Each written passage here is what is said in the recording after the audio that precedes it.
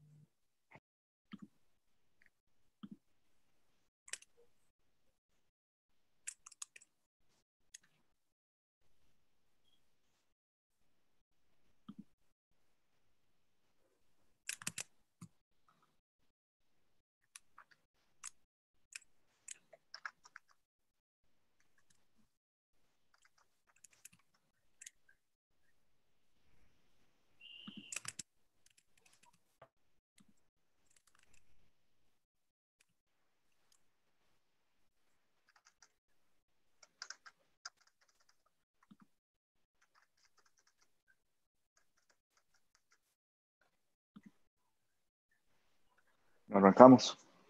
Sí, dale. Ok, voy a abrir aquí y empezar a compartir un segundo.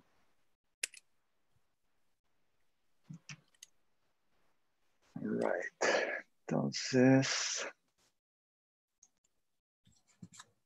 ¿cómo están muchachos? Hoy eh, Oscar y yo queríamos dedicarle un poquito de rato al plan financiero, que en realidad eh, pues lo, lo vimos por encimita, pero tenemos un, un template que, que Oscar subió a mediación virtual y la idea es hacer un, como un paso a paso, por decirlo así, eh, con una, digamos, un negocio ficticio que nosotros nos inventemos ahí de camino para que vean más o menos cómo pueden ir llenando el, el plan y, y, así se les va a facilitar, que de hecho va a ser la tarea para, para el próximo domingo.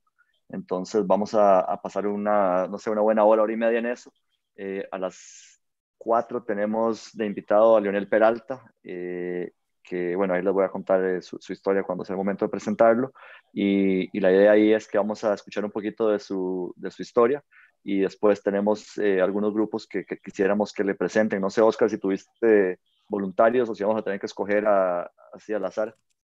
Creo que no, al menos en el correo no tengo eh, ninguno que se ofreciera, entonces creo que va a tener que ser, si alguno quiere escoger, y presentarlo puede hacer ahora, si no, pues a alguien le va a tocar. Sí, y bueno, va a ser más de uno, van a ser, me imagino que unos tres, dependiendo cuánto tiempo nos quede después sí. de la, la, charla, digamos, si son 20, 30 minutos de charla, nos quedarían como unos 30 o 40 minutos, entonces puede que seamos eh, un, uno o dos equipos por lo menos, dependiendo cuánto dure cada equipo.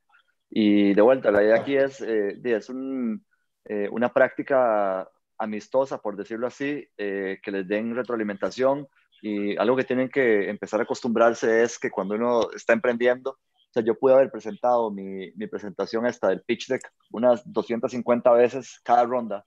Hice como cinco rondas, así es que ustedes pueden hacer la mate. Ya al final me la sabía de memoria, no, no estaba ni, ni los slides ni los números, lo tenía todo así porque le toca a uno hacerlo un millón de veces, ¿verdad?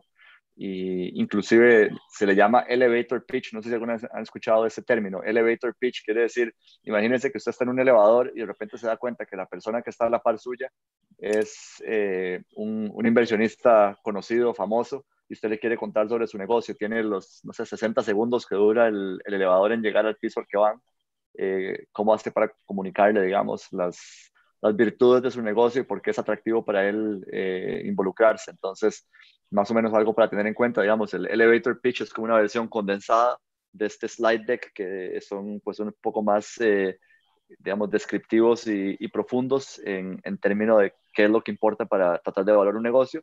Y de vuelta, la idea es que si alguien está interesado, probablemente van a, a, pasar bastante más tiempo con ustedes en cada una de las áreas, ¿verdad? Pero por lo menos hay que abrir las puertas diciendo, este es mi negocio, así es como lo pensé, este es el problema, esta es la solución, este es el mercado, esta es la proyección financiera, etcétera, ¿verdad? Entonces, bueno, por ahí más o menos eh, la, la, idea de pasar un poquito más de rato en la parte financiera, que es una de las áreas donde normalmente pues se hace un poquito más de, profundización, ¿verdad? A la hora de, presentar un negocio. Entonces, bueno, con eso, antes de arrancar, Oscar, no sé si tenés eh, más eh, mensajes y updates para el, grupo. No, no, creo que esa sería. La idea de hoy, como decía Max, ¿verdad? Es que entre todos podamos participar, porque yo sé que es un tema que no muchas veces manejamos, al menos en ingeniería. Nos cuesta un toque cuando se trata de plata y dinero y proyecciones financieras, ¿verdad? Tampoco estamos aquí inventando algo súper complicado y súper raro. Eh, tenemos ese template que lo desarrollaron en el MIT, eh, que está súper chido, está súper completo y nos da una visión un poquito más fácil por colores y demás de cómo, cómo ir poco a poco, ¿verdad? Llenando una proyección eh, por, por quarter, digamos, en el año, ¿verdad?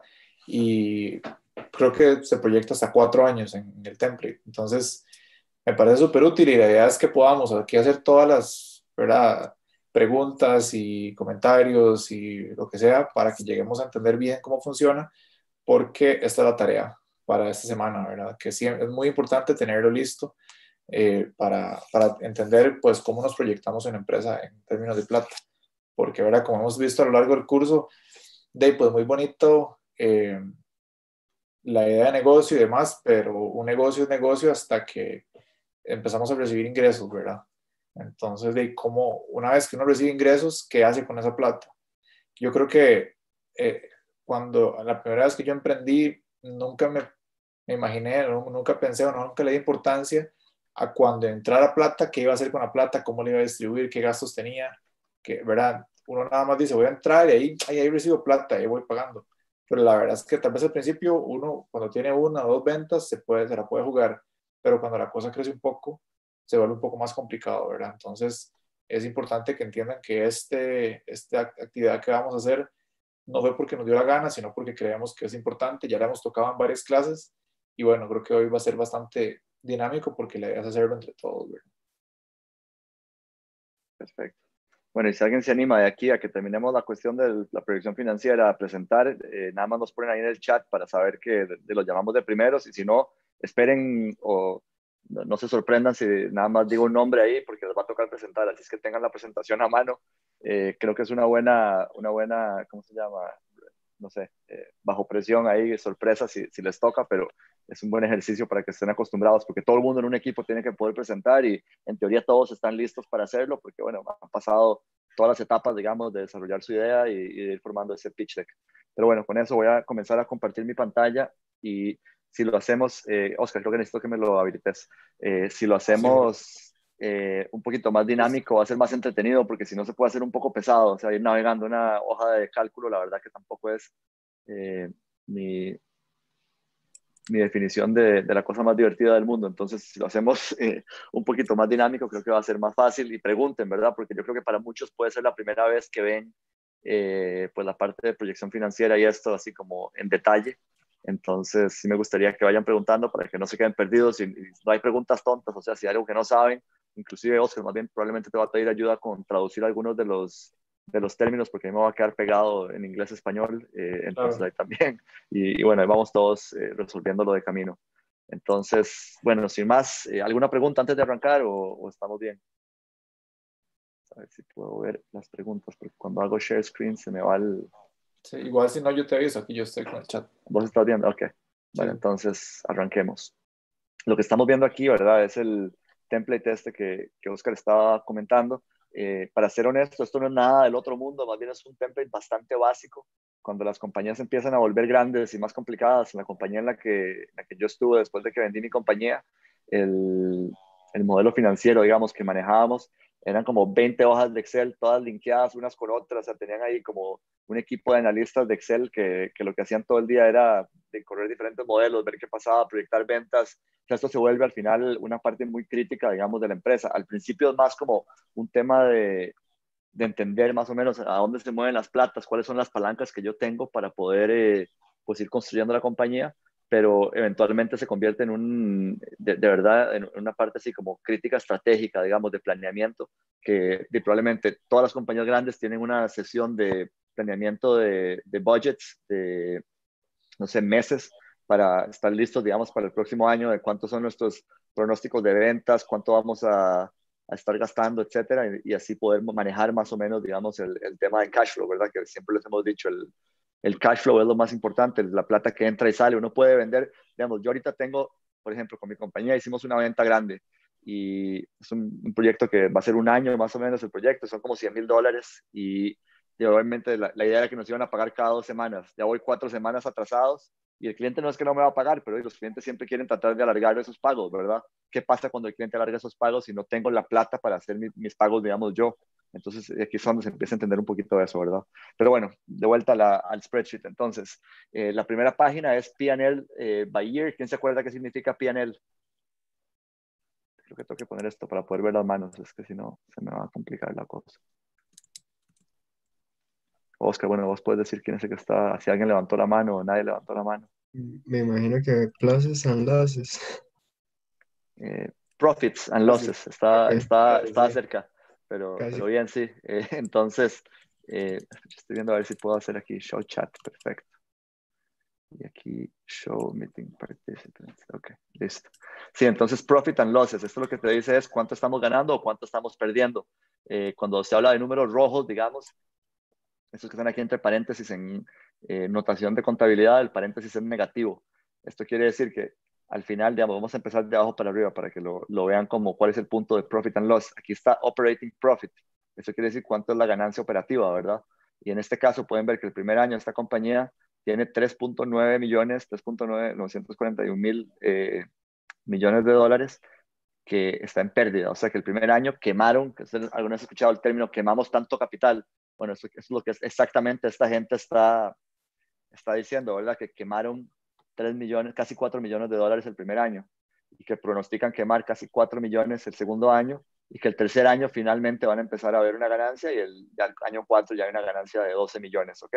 Entonces, si se acuerdan la curva aquella que hemos visto del negocio, hay uno que es lineal, que era el negocio de, de estilo de vida, digamos, como un negocio de servicios que iba creciendo orgánicamente para arriba, para arriba, y estaba el otro que habíamos visto que era el, el crecimiento, digamos, donde primero hay que hundir un montón de capital, quemar, quemar, quemar, quemar, y luego empieza a crecer exponencialmente, ¿verdad? Entonces, eso es lo que estamos viendo aquí, ¿verdad? Dos años de quemar 4 millones para después empezar a ver eh, una entrada. Y, y, bueno, estos números cuando son rojos, por eso se dice está en, el, en rojo o en, o en, negro, quiere decir si está quemando capital o generando capital. Estos dos deberían ser rojos si fuera ese tipo de notación. Y aquí estaría ya eh, en el área que está rentable. Entonces, eh, la primera línea que está aquí son las ventas, siempre se empieza por las ventas, digamos, cuánto, cuánto es mi pronóstico de ventas.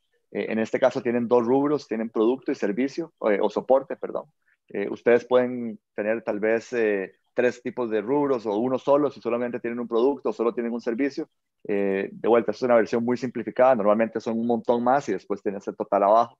Eh, en este caso, ellos pronostican vender, y ahorita vamos a verlo quarter por quarter, pero lo que les quiero mostrar es el, el resumen primero y luego nos vamos a ver el, el, quarter por quarter que tenemos que empezar a llenarlo, ¿verdad? Eh, entonces, pronostican vender un millón y medio el primer año, 8 millones 600 el segundo año, bastante agresivo, ¿verdad? Si se ponen a ver, crecer. Primero que nada, vender un millón y medio de dólares el primer año es bien difícil. O sea, se los digo yo que he estado ahí ya con mi segunda compañía, llevamos eh, poquito más de un año y no hemos vendido un millón y medio de dólares. Entonces, esto es bastante agresivo. Eh, crecer de un millón y medio a 8.6 es muy agresivo. Y después de 8.6 a, a 25 es de tres veces, ¿verdad? Bien agresivo, pero realizable. O sea, y después de esto, dos veces. Entonces, la idea es aquí como del año 2 al año 3, 3X. Y del año 3 al año 4, 2X. Eh, si esto fuera 10X, digamos, yo ya me preguntaría, ¿será que esta gente en serio lo pensó o nada más tiró números al aire? Porque no, no sé cómo pueden hacerlo.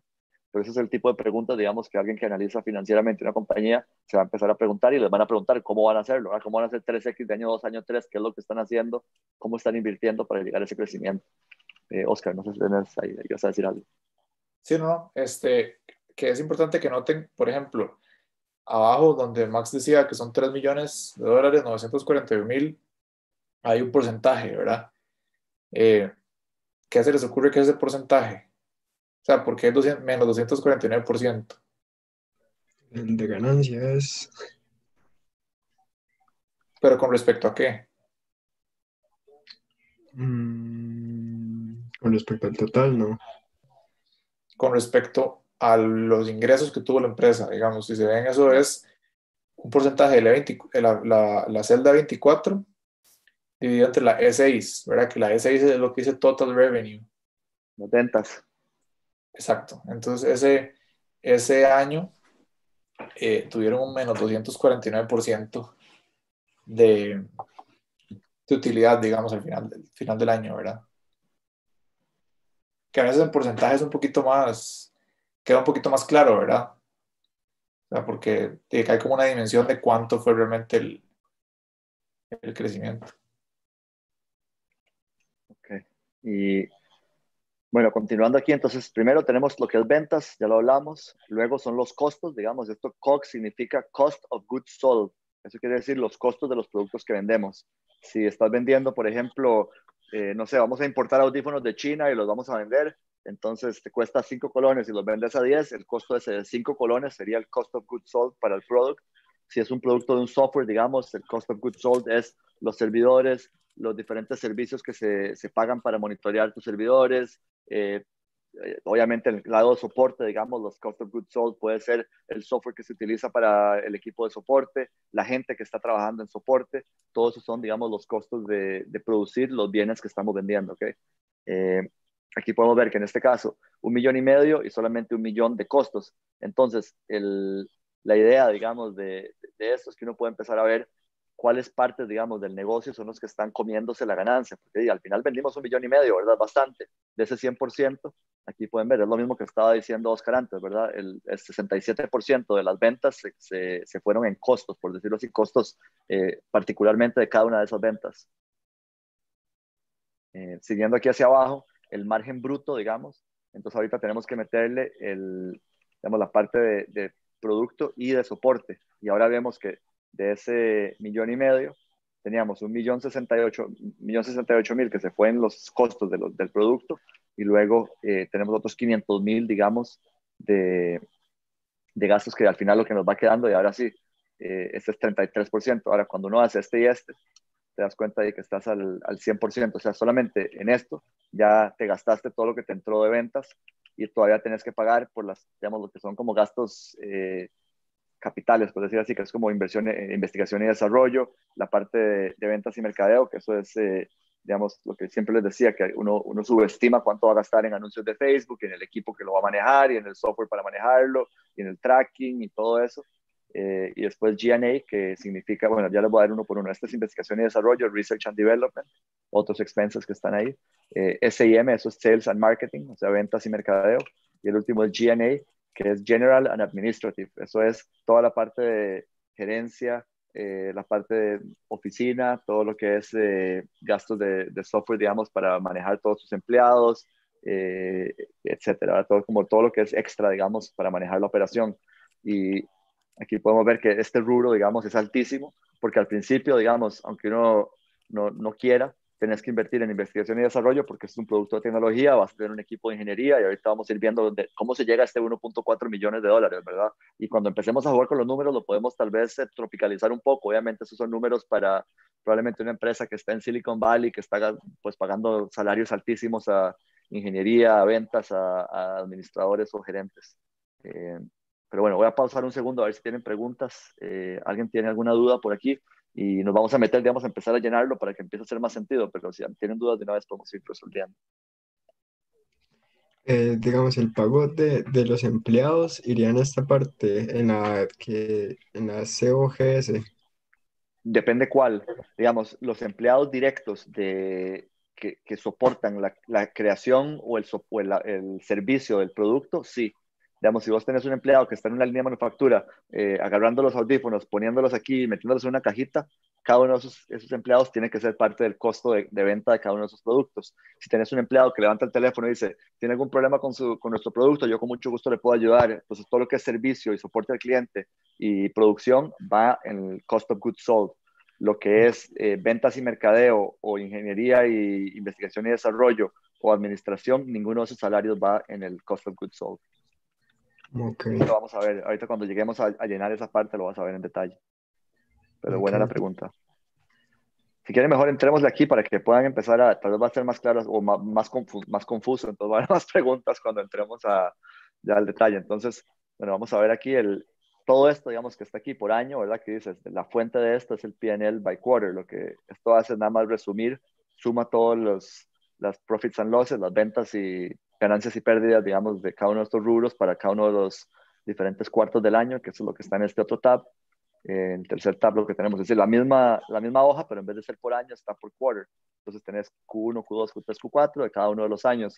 Eh, eventualmente, cuando ustedes van a comenzar su propio negocio, yo les recomendaría para, es un ejercicio que vale la pena hacer, hacerlo por mes, por lo menos para el primer año. Entonces, el primer año lo tienen mes por mes y ya después, año 2, año 3, año 4, lo pueden hacer quarter por quarter. La razón que es que al principio el cash flow de mes a mes les va a hacer una diferencia. Uno, uno cree que no, pero lo que les decía, un cliente les paga 90 días en vez de 30 días, y todo se, complica, ¿verdad? Van a tener que ustedes empezar a ver de dónde sacan platas para pagarle salarios a la gente, la renta de la oficina, el suplidor de aquel producto, o etcétera, etcétera, ¿verdad? Eh, me imagino que Oscar eh, puede comentarles un poquito de eso, porque como, como buen emprendedor, yo, yo lo he vivido, así es que estoy seguro que todo el mundo que ha emprendido ha, vivido eso de cómo, cómo agarrar de un bolsillo para sacar para el otro para hacer que los números al final del mes calcen, ¿verdad? Sí, sí, exacto. O sea, yo, creo que es una buena, un buen ejercicio hacerlo mes a mes al principio, porque es como, no sé, uno mentalmente tiene como un corte en la cabeza de mes a mes, ¿verdad? Entonces, sí es bueno que al principio tengamos un poquito más de, de resolución eh, con respecto a lo que nos entra versus lo que nos sale. Y dependiendo del tipo de negocio que tengamos, vamos a tener costos o gastos eh, mensuales también. Entonces, eh, me parece que es un buen ejercicio hacerlo mes a mes, que básicamente, incluso podríamos usar esta misma plantilla, nada más que lo que hacemos es y modificamos un toque ahí los, las columnas para que sea por mes y, o hacemos una nueva un nuevo tab que sea por mes y lo modificamos, ¿verdad? Pero sí, definitivamente uno ocupa, cuando está empezando, ocupa un poquito más de resolución eh, para ir viendo tal vez no un cuarto, sino cada mes, ¿verdad? A veces incluso eh, he conocido gente que lo hace hasta como por quincena, porque tiene pagos que hacer quincenales, digamos, dependiendo si tiene que pagar empleados y demás, ¿verdad? Pero bueno, entre, entre más específicos seamos, creo que es mejor porque tenemos un poquito más de control sobre lo que nos entra y nos sale, ¿verdad? Sí, eso de quincenal, digamos, eh, piénsenlo así. Cuando la compañía es joven, el colchón que tienen es muy pequeño, ¿verdad? O sea, si, entra, si una venta me la pagan a 30 días, pero yo tengo que pagarle a los empleados en la quincena, y estoy jodido porque no tengo de dónde saco la plata, ¿verdad? Pues por eso es que entre más resolución y más corto lo haga uno, más seguro está, digamos, de las entradas y salidas y no te vas a quedar ahí como jodido de que el 15 no hay para pagar planilla porque es lo último que uno quisiera, ¿verdad? Entonces, conforme Colchón va creciendo y la compañía más grande, ya una quincena no tiene sentido, sino que es un mes y después una compañía más grande va a ser un quarter y ahí va, pues obviamente, creciendo ese número de, que es menos y menos importante la resolución. Pero bueno, eh, esto es de vuelta, es nada más eh, lo que está eh, alimentando, digamos, la, la hoja de, de PNL por año. Son quarter por quarter, pero entremos ahora sí al, a lo que es, digamos, los inputs. Entonces, cuando ustedes van aquí al sales plan, que ese es el plan de ventas, digamos, entonces aquí lo vamos a ir hasta arriba. Lo primero que tenemos es clientes. Entonces, este, en este caso, digamos, hay eh, tres modelos que podemos, y la, idea de esto, digamos, ¿qué pasa si vendo 100? ¿Qué pasa si vendo 1000? ¿Qué pasa si vendo 10,000? Pero bueno, vamos a, trabajar solo sobre el primer modelo, en este caso, eh, asumiendo que solo tenemos un modelo de, de producto y, eh, y, y, vamos por ahí. Entonces, el, ¿De qué va a ser la compañía? ¿Quién quiere inventarse una compañía? ¿Qué vamos a vender? Hagamos el ejemplo de los buses para ir. ok, bueno. Por viva Nicole, entonces le, vamos a ir haciendo el, trabajo aquí, ok. Entonces, bueno, el, de los buses, ¿cómo es el, recuérdanos cómo es lo, digamos, el, modelo de ventas? ¿Quiénes son los clientes y, y cuánto le vamos a cobrar por, por producto, que ahorita tenemos que ir empezando a ver eso.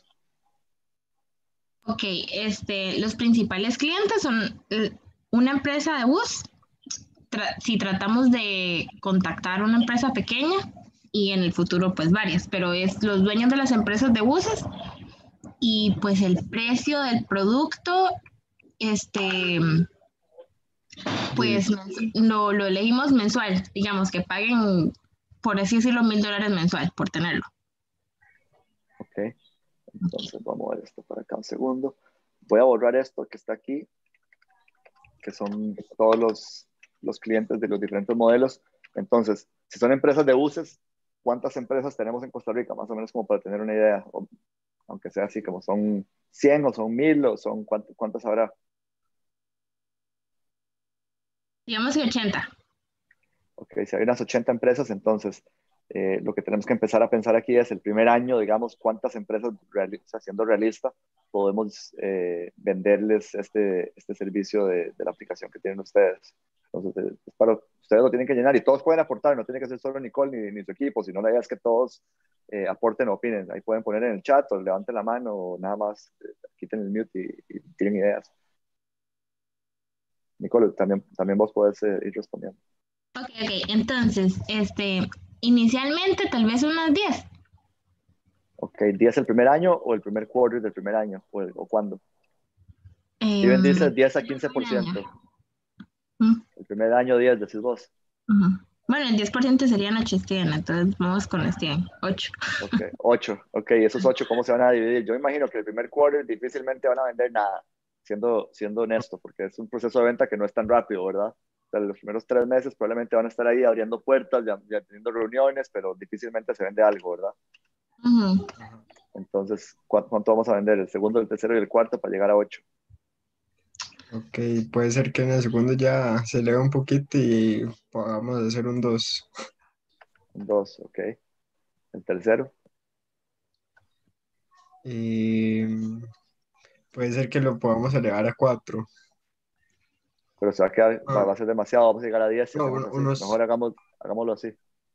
Ajá, ajá. Entonces ahí tenemos los 8, 2, 2 y 4, o 1, 3 y 4 tal vez. Ajá. ¿Qué les parece así? Está bonito, sí. Ok.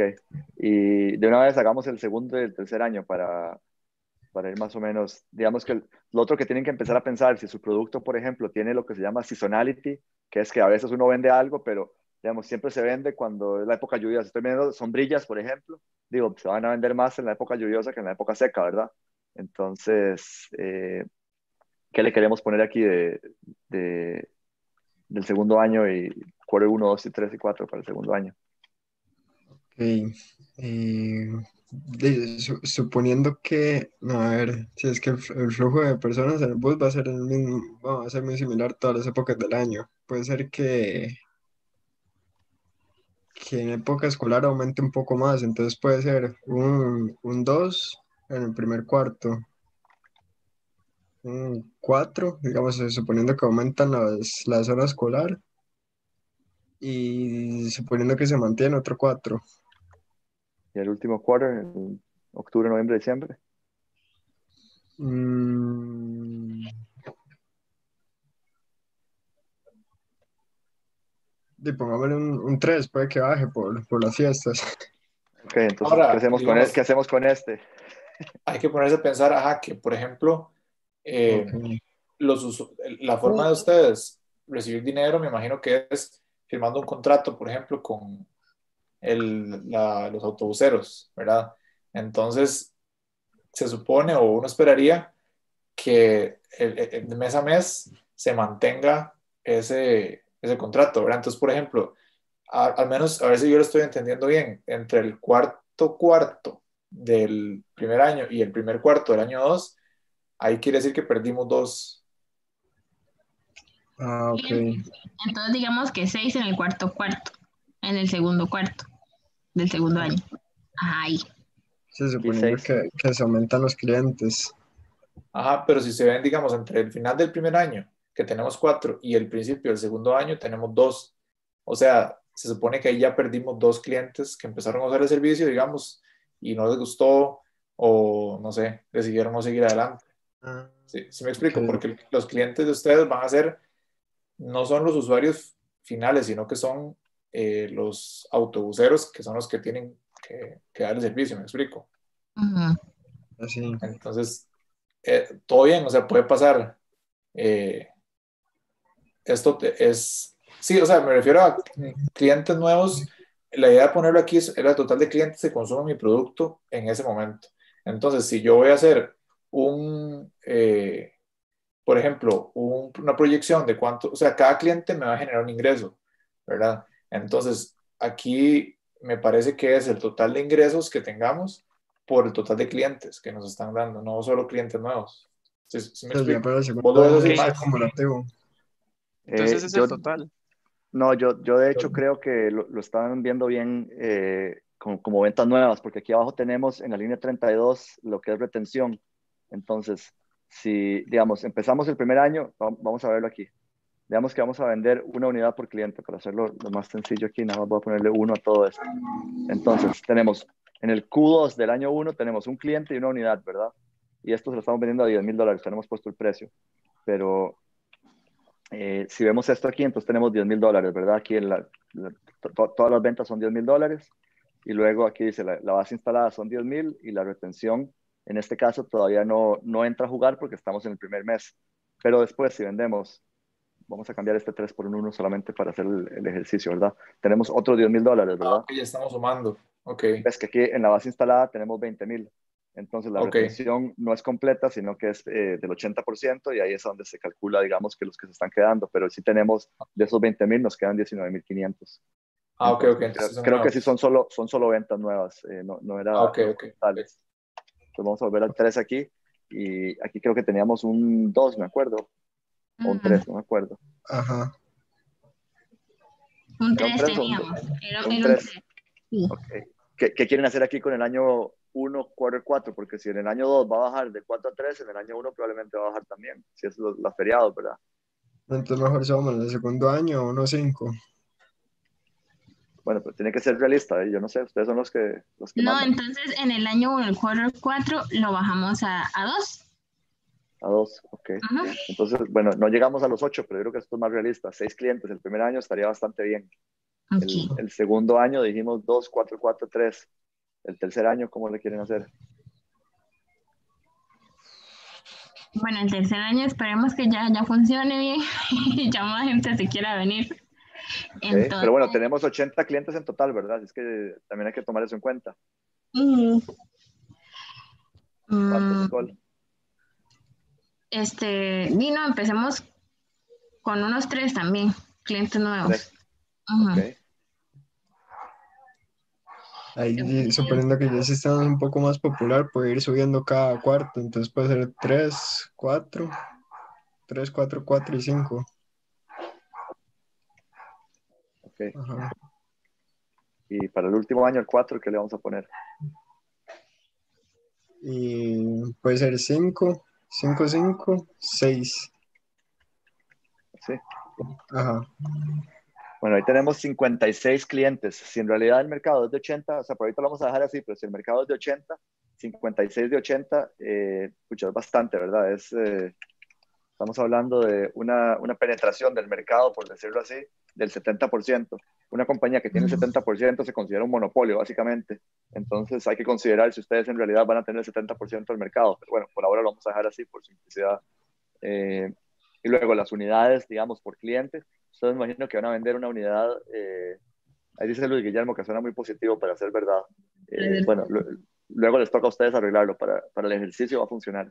Eh, entonces las unidades por cliente van a ser, me imagino, quitemos esto del modelo, porque aquí solo tenemos un modelo por ahora, eventualmente lo pueden hacer más complicado, con diferentes versiones del producto, diferentes precios, diferentes lo que quieran. Pero entonces, ¿cuán- ¿cuántas eh, unidades se venden por cliente? ¿Es cada, cada compañía de bus se le cobra por bus o se le cobra por contrato, digamos? Por contrato, porque para cada compañía tendríamos que ver las rutas, agregarlas al mapa y todo ese tipo de cosas más específicas de la compañía. Entonces se vería como una modificación un poquito del software para cada compañía. Ok, pero bueno, igual tenemos que ponerles un precio a cada uno de estos clientes, entonces me imagino que cada cliente va a tener diferente cantidad de, de rutas, eh, que eso es más o menos como cuántas unidades por, por cliente, es como decir cuántas rutas por cliente, ¿verdad? En promedio. Entonces, digamos que al principio van a empezar con, con rutas más pequeñas y luego van a ir ampliándose, me imagino, porque van a poder agarrar compañías más grandes. El primer año podemos empezar con una, o- con una o dos rutas. Una, una, dos, dos, tal vez pongámosle. Una, una, dos, dos. Y luego el, el, el segundo año. El segundo año puede ir, puede ir aumentando ya de 2 a 3.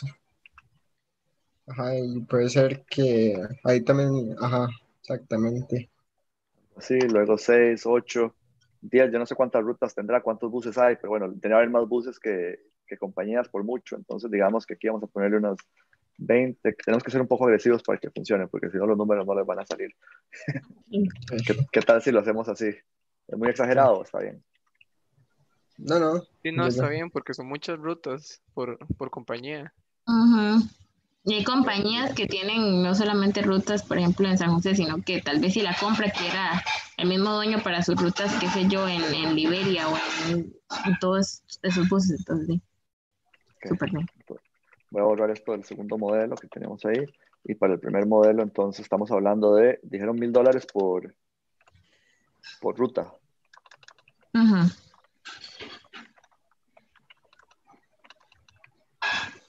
Vean que aquí el precio va bajando en el tiempo. Esto suele ser que así es, ¿verdad? Especialmente conforme ustedes van cerrando contratos más grandes, les va a tocar ir haciendo descuentos y tal vez ya va a haber competencia. Pero bueno, ustedes me dicen qué precio le quieren poner. ¿Le ponemos mil parejo o le ponemos menos en el tiempo? ¿Le ponemos más? ¿Cómo lo quieren hacer? ¿Cómo, lo, cómo pronostican ustedes que sus ventas por unidad? O sea, ¿cuánto va a costar cada ruta por cliente en el tiempo? Mm, podríamos ponerle mil hasta al menos el tercer año, porque el tercero. Para, para, incitarlos a que. Ajá, ¿Y después? Y después puede ser, de ya que las rutas van aumentando, puede ir 800 tal vez. Ajá. Ok, bueno, para el ejercicio igual esto. Pero ven, van viendo, digamos, cómo les empieza a forzar ciertas preguntas el hacer el modelo financiero. No, normalmente no se preguntaría, puche, ¿cuántas rutas será que vamos a tener el primer año en promedio y el segundo año? Entonces, para poder saber si este número es, eh, digamos, suficientemente eh, preciso, eh, no solamente el precio, sino el número de rutas, y ustedes van a tener que empezar a pensar, bueno, cuáles serían los clientes y cuántas rutas tiene cada una de estas compañías. Entonces tienen que ir a empezar a, a indagar y a ir resolviendo, ¿verdad? Porque eso es lo que el modelo al final hace. Y Excel aguanta todo, pero si usted hace un modelo que está basado en, ¿cómo se llama? En, eh, ¿Cómo se llama? Assumption, siempre se me olvida esa palabra. En premisas, ¿no? ¿Cómo era que se llama? Suposiciones. Suposiciones. Sí, exacto. Usted tiene suposiciones que están eh, completamente fallidas, entonces el modelo va a estar totalmente fallido, ¿verdad? La idea es que ustedes tienen que ir poco a poco eh, aterrizándolo, digamos, en, en, la verdad y conforme van aprendiendo más del negocio, se va volviendo más y más eh, realista y más y más una cosa que se puede usar para pronosticar de verdad cómo se, cómo se mueve, digamos, este, este mercado y este negocio. Entonces, bueno, sigamos producto, ya, todo esto viene calculado ahí, ¿verdad? Lo que está haciendo esto, para que más o menos entiendan, es una unidad por eh, mil dólares, son, eh, pues, obviamente mil dólares, seis unidades, seis mil dólares, y, aquí lo que hace es esto. Eh, a ver, un segundo, esto está bien. No, no está bien.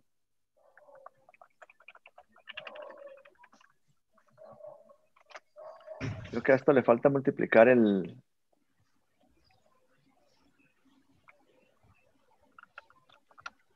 Sí, el, número de clientes por unidades por cliente. ¿Por qué no lo está haciendo? Me parece raro. ¿Qué nos falló aquí? No, pero yo creo que sí, no. Dos, por, dos, dos eh, units por tres clientes tenemos dos clientes aquí, por ejemplo, y son seis unidades.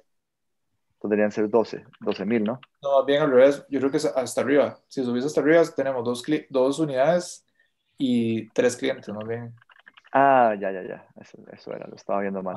ok, dos unidades por cliente, tres clientes, son seis, seis ventas, digamos, son seis rutas, por decirlo así. En este caso, la unidad es una ruta. tenemos seis rutas de mil dólares y son seis mil dólares de, de ventas. Eh, entonces, la otra pregunta es, ¿cuántas de estas rutas, digamos, se van a mantener en el tiempo? ¿Ustedes creen que son el 100% o van a perder alguna ruta año con año o quarter con quarter? yo imagino que se pueden perder rutas porque pues eh, el, sistema funciona bien, pero para rutas que son muy concurridas, entonces puede ser que sí, tengamos alguna pérdida de rutas. Ok, pongámoslo bajito, la pérdida para que no sea, no, no sé, para que salga bien. Entonces vamos a hablar de un 95% anual, digamos, que van a retener. Ok. Mm. Y esto es support revenue. Eh, yo creo que por ahora no van a tener, no van a cobrar por el soporte, ¿verdad? Apoyo, servicio al cliente. Vámonos 0% a esto para simplificarlo por ahora. Y bueno, entonces aquí tenemos el pronóstico de ventas con sus unidades quarter por quarter. Y si nos vamos aquí al PNL, van a ver que ya de ahí tenemos nuestras ventas. Obviamente, como les digo, a la hora de tropicalizarlo, nuestro primer año, por así decirlo, eh, los números son bastante más bajitos. Y aquí tenemos el primer año en ventas 11 mil dólares, el segundo año 53 mil, luego 19, 190 mil y luego 1.200.000. Eh, ustedes me dicen si esto les parece razonable o no. Bueno, para el ejercicio está bien. Eventualmente ustedes tienen que poder defenderlo, ¿verdad? Como cómo se crece de 190 mil a 1.200.000. Creo que se nos fue la mano, ¿verdad? Probablemente ese, creo que es este 200 que yo le puse aquí, está un poquito exagerado con las rutas. Entonces mejor quedémonos como por ahí de 50, 50, 60, 60 y 75 tal vez. Entonces ahora sí lo vemos, ahí está un poquito más razonable, ¿verdad? Sí. ¿Les parecen? Estas ventas están más razonables, ¿verdad? Entonces vamos aquí de vuelta al plan de ventas y ahí tenemos todo lo que es, digamos, ventas. Aquí ya cubrimos la parte, digamos, de eh, cuánto estamos vendiendo y a quién. Entonces, cost of goods sold, ahora sí vamos a ir a hablar sobre los costos. Eh, aquí vamos a tener algunos costos, eh, ¿cómo se llama?, de, de, producto y unos costos de personal. Entonces, empecemos por el hecho de que aquí no vamos a tener modelo 2 ni modelo 3, sino que nada más tenemos modelo 1.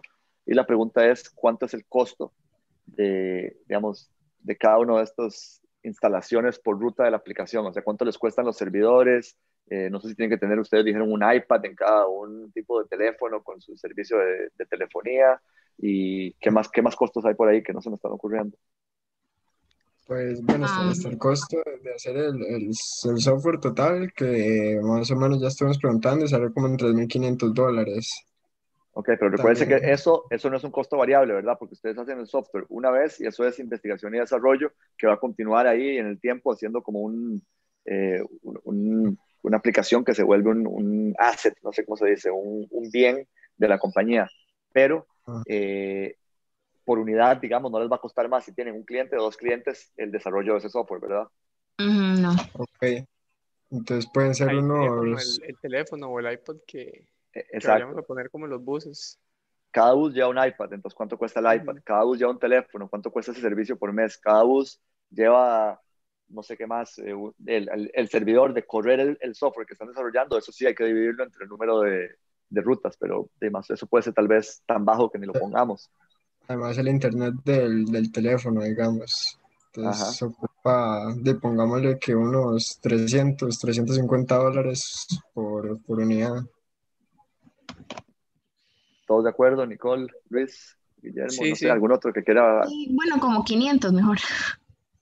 Yo creo que mejor poner 350, porque si no, no le van a dar los números, se van, se van a asustar. Ok, ok. y recuerden también, digamos, esto del iPad, en realidad, si yo fuera usted, no lo pondría eh, como un costo variable por unidad, porque, eh, ah, no, sí, lo tienen que poner en cada bus, en cada ruta, tienen que así, es mentira, sí es, ok. También, más, no me acuerdo si, si en esta parte del, del, del, archivo toma en cuenta, por ejemplo, eh, que van a haber equipo que se va a dañar, ¿verdad? Eso siempre va a pasar. Este, no sé qué tanto se va a manipular el, el teléfono, digamos, pero ahí siempre pasa, o sea, que se daña, entonces hay que reemplazarlo de emergencia. Son costos que ustedes tienen que ver si ustedes mismos lo reparan o lo mandan a reparar. Entonces siempre es bueno tener un, un margen ahí de, ustedes saben que mensualmente o por, por cuarto eh, van a tener que reparar equipo o intercambiarlo por uno nuevo o que algo pasó y que no se no encendió, que no está sirviendo. Entonces podría modificar este archivo para poner algo así como, digamos, de la cantidad de rutas que tengo instaladas en cada, cada quarter, eh, cuánto porcentaje creo que se va a ir dañando. Entonces, digamos, si uno le dice 10% se va a ir dañando. Entonces, uno de cada 10 tengo que reemplazarlo cada vez y eso le agregan un costo ahí mensual que digamos, esto lo estamos metiendo aquí como un número fijo, pero esto podría ser otro tab que se llame eh, costos variables. Ustedes dicen costos variables es el iPad, eh, el Internet, tal cosa, pues ahí ustedes pueden ir de vuelta haciendo su modelo más y más elaborado y preciso para su negocio, pero sí es un muy buen punto. Eh, iría en cost of goods. ¿Perdón? Esa parte iría en cost of goods también. Eh, sí, o sea, todo lo, todo lo que es, digamos, cost of goods sold es todos los costos eh, variables que tenés que incurrir para poder dar tu servicio o producto. Entonces, en este caso, para poder tener una ruta, tengo que invertir en un iPad. Para poder tener una ruta, tengo que invertir en un teléfono eh, o en servicio de teléfono e internet. Entonces, por eso es que es un costo variable que, va en cost of goods. Eh, la, parte del mantenimiento, siendo 100%, si lo queremos hacer así como by the book, por decirlo así, esos iPads deberían ser eh, una inversión capital que ustedes tienen, que se va depreciando en el tiempo, eh, y así es como sería, digamos, ya más sofisticadamente, pero para el, tema de cash flow, para ustedes creo que les va a funcionar si los ponemos aquí como cost of goods, porque lo estamos viendo como algo que no es un, un bien capital que tiene un valor en el tiempo, sino más bien como algo que se gasta, por decirlo así, porque no nos duran tanto. Esos iPads no van a durar 10 años, van a durar a lo mucho, por lo que decía Oscar, uno o dos años, ¿verdad? Y siempre pasa que, o sea, lastimosamente no vivimos en, en el paraíso, ¿verdad? Vivimos en un país donde hay delincuencia, donde hay vandalismo, entonces siempre va a haber, no sé, que lo destruyen o lo roban, dependiendo, como les digo, de qué tan, eh, qué tan, tan, tan acceso va a tener el cliente o los, o los pasajeros, ¿verdad? Pero siempre es bueno saber que algo va a pasar, o sea, que como decía Max, tener un porcentaje y decir, bueno, el 10% sabemos que se daña o se lo roban o algo pasa. A mí me, me sonó mucho me pareció muy, muy bien que, no sé si ustedes vieron, eh, creo que fue el año pasado que pusieron una gente que trajo bicicletas de alquiler. Ah, las Omni. Las Omni, ajá, ustedes vieron que al tiempo que ellos la sacaron, empezaron a aparecer unas tiradas en un río y otra que se la robaron en no sé dónde. Y entrevistaron al, al, al gerente y ellos dijeron, sí, la verdad es que nosotros sabíamos que eso iba a pasar. O sea, ya ellos tenían eh, previsto que un porcentaje de las bicicletas no las iban a devolver, se las iban a robar, las iban a dañar, ¿verdad? Y eso obviamente es una pérdida para la empresa, pero no los toma por sorpresa. Entonces, creo que siempre es bueno que nosotros sepamos que no vivimos en un mundo perfecto, ¿verdad? Entonces, en, en, un, en un tipo de negocio como este, que es un dispositivo que va en un lugar público, ¿verdad? Sabemos que todo puede pasar. Entonces, de nuevo, en el camino vamos a ir perfeccionando un poco y ya vamos a decir, ok, la verdad es que no, eh, no sé, en todo el mes de 10 aparatos se roba uno. Entonces, ok, ya tenemos una estadística. Pero desde antes es bueno que vayamos pensando en eso para que no nos tome por sorpresa, ¿verdad? Ciertamente tenemos que reducir eso de alguna forma, ¿verdad? Obviamente, no es como que decimos así, ah, uno de cada día se lo pueden llevar sin problema. No se trata de eso, sino que ustedes sepan que ya tenemos previsto que eso puede pasar y no nos va a tomar por sorpresa, ni nos va a desbalancear, ni va a ser un problema para nosotros, ¿verdad? Ok.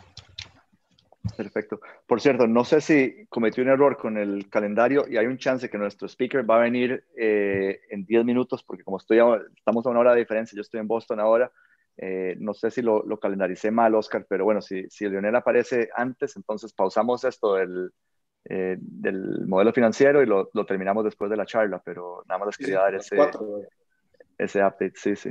Pues son, son, las cuatro aquí, no sé si lo invité a las cuatro aquí o a las cuatro allá, porque el calendario cuando uno viaja a veces eh, te juega trucos porque no hay que cambiar el setting, no sé si lo hice. Eh, pero bueno, sigamos adelante. Vamos a las tres y, y, retomamos a las cuatro. Exacto. Eh, bueno, entonces costos variables, 350, vamos a ponerlo parejo, pero bueno, obviamente la idea es que si ustedes ya están vendiendo, no sé, 50 líneas de autobuses, esos iPads les van a salir más baratos y el software debería ser también eh, más barato de, de, correr y probablemente puedan tener un mejor, de, no sé, algún tipo de descuento con el ICE o con Colby o con Claro, con quien sea que van a hacer el, eh, la, la, cuestión del teléfono, pero bueno, por ahora dejémoslo en 350 y tal vez digamos que el año 3 baja, no sé, digamos que unos 300, nada más poner un número un poquito diferente que no sea todo lo mismo, ¿verdad? Tal vez aquí 250, solamente para el ejercicio de vuelta, ustedes tienen que ir masajeando esto y tienen que tener una razón de por qué creen que va a bajar o subir, a veces también puede ser que suba. Eh, bueno, aquí esto nada más hace todos los cálculos y ahora empezamos a hablar un poquito más de las contrataciones. Entonces, aquí dice eh, el staffing plan, ese es como el plan de, de contratación de personal, ¿verdad? Eh, primero tenemos un VP, que es un vicepresidente de manufactura. En este caso no necesitamos un vicepresidente de manufactura, eh, pero tal vez necesitamos eh, un vicepresidente de eh, servicios. ¿Se acuerdan que dijimos que no íbamos a cobrar por el servicio, pero eventualmente te, tenemos que darle servicio a estas cuentas, ¿verdad? ¿Qué pasa cuando se cae la señal y el mal de la, el gerente de, de, la ruta de, de rutas de, de, tal compañía está llamando? ¿Quién lo va a atender, verdad? Eh, entonces, bueno, ¿qué, ¿qué, les parece eso? ¿Un gerente de servicio? Sí, profe. ¿Qué más necesitamos, digamos, en el, digamos, no para desarrollar la aplicación, sino para mantener y, darle soporte a la aplicación, aparte de algún tipo de gerente de servicio, ¿qué más necesitaríamos? Puede ser un técnico que, que instale el, el, digamos, el sistema en el bus. Ok, aquí tenemos el, el técnico, eh, aquí abajo, y bueno, esto está en, esto es las unidades, por, por, bueno, lo dejamos ahí, ¿verdad? Las unidades por mes, eh, y ahí está el, el técnico, digamos, eh, tomado en cuenta. Eh, obviamente yo creo que un técnico tal vez 60 es un poco agresivo, eh, digamos que cuántos, unas 20. Sí, unos 20 o unos 15. Y luego el, el, supervisor este lo voy a quitar, creo que no necesitamos un supervisor por ahora, eventualmente ustedes lo pueden hacer un poquillo más...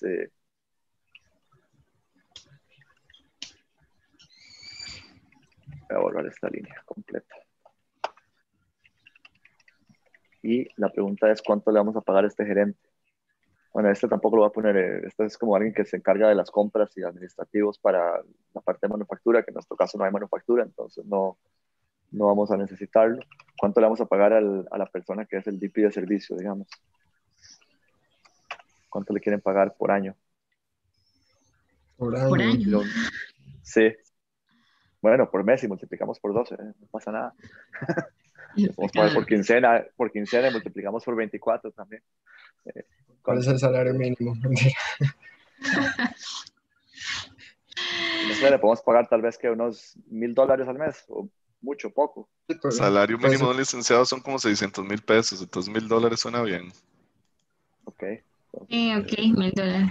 pero no caso a David. ¿Cómo le vamos a pagar el primer año si no tenemos ventas? Bueno, ahí empiezan a ver los problemas de... pagan con stocks. Exacto, al principio tal vez para el modelo usted dice 12 mil, pero tal vez le, decimos, bueno, no podemos pagar el, el, salario el primero y el segundo año, ahí vamos creciendo conforme las ventas crecen y le vamos a pagar exactamente con, con opciones de lo que habíamos hablado, ¿se acuerdan? El stock option pool, el, las opciones de que él, puede comprar, con, eh, ¿cómo se llama? Equity, ¿cómo se dice? Acciones de la compañía. Pero bueno, continuemos. Entonces, eh, supervisor dijimos que no teníamos y al técnico, ¿cuánto le pagamos? Este, al técnico. Estejillas y media, digo yo. Como unos 700 dólares. 650 650, pero son por 12, ¿verdad? Entonces son 7.800 al año, ¿ok? Y este no lo tenemos, entonces lo quitamos y ahí están, vea, ya llevamos casi 6 mil dólares de gastos el primer quarter nada más. el año.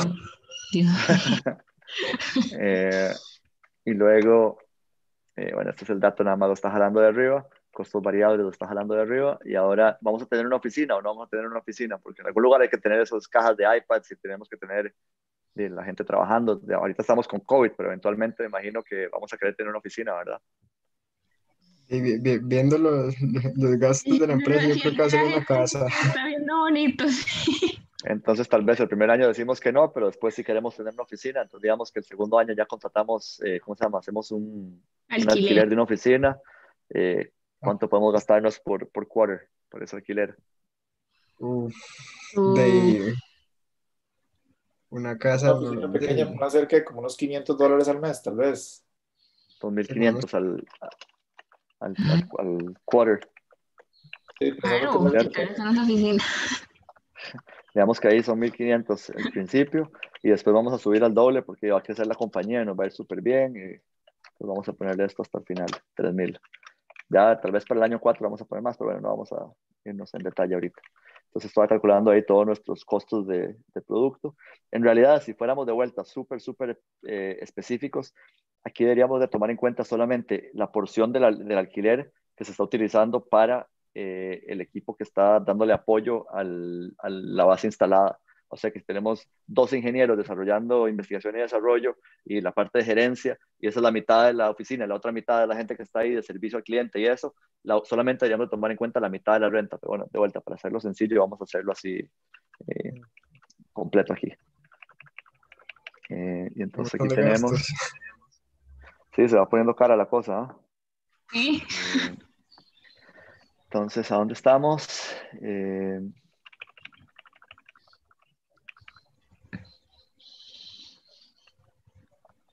ah, support, dijimos que no tenemos, eh, digamos, un, proceso de venta, digamos, que vamos a, cobrar, entonces esto lo vamos a quitar.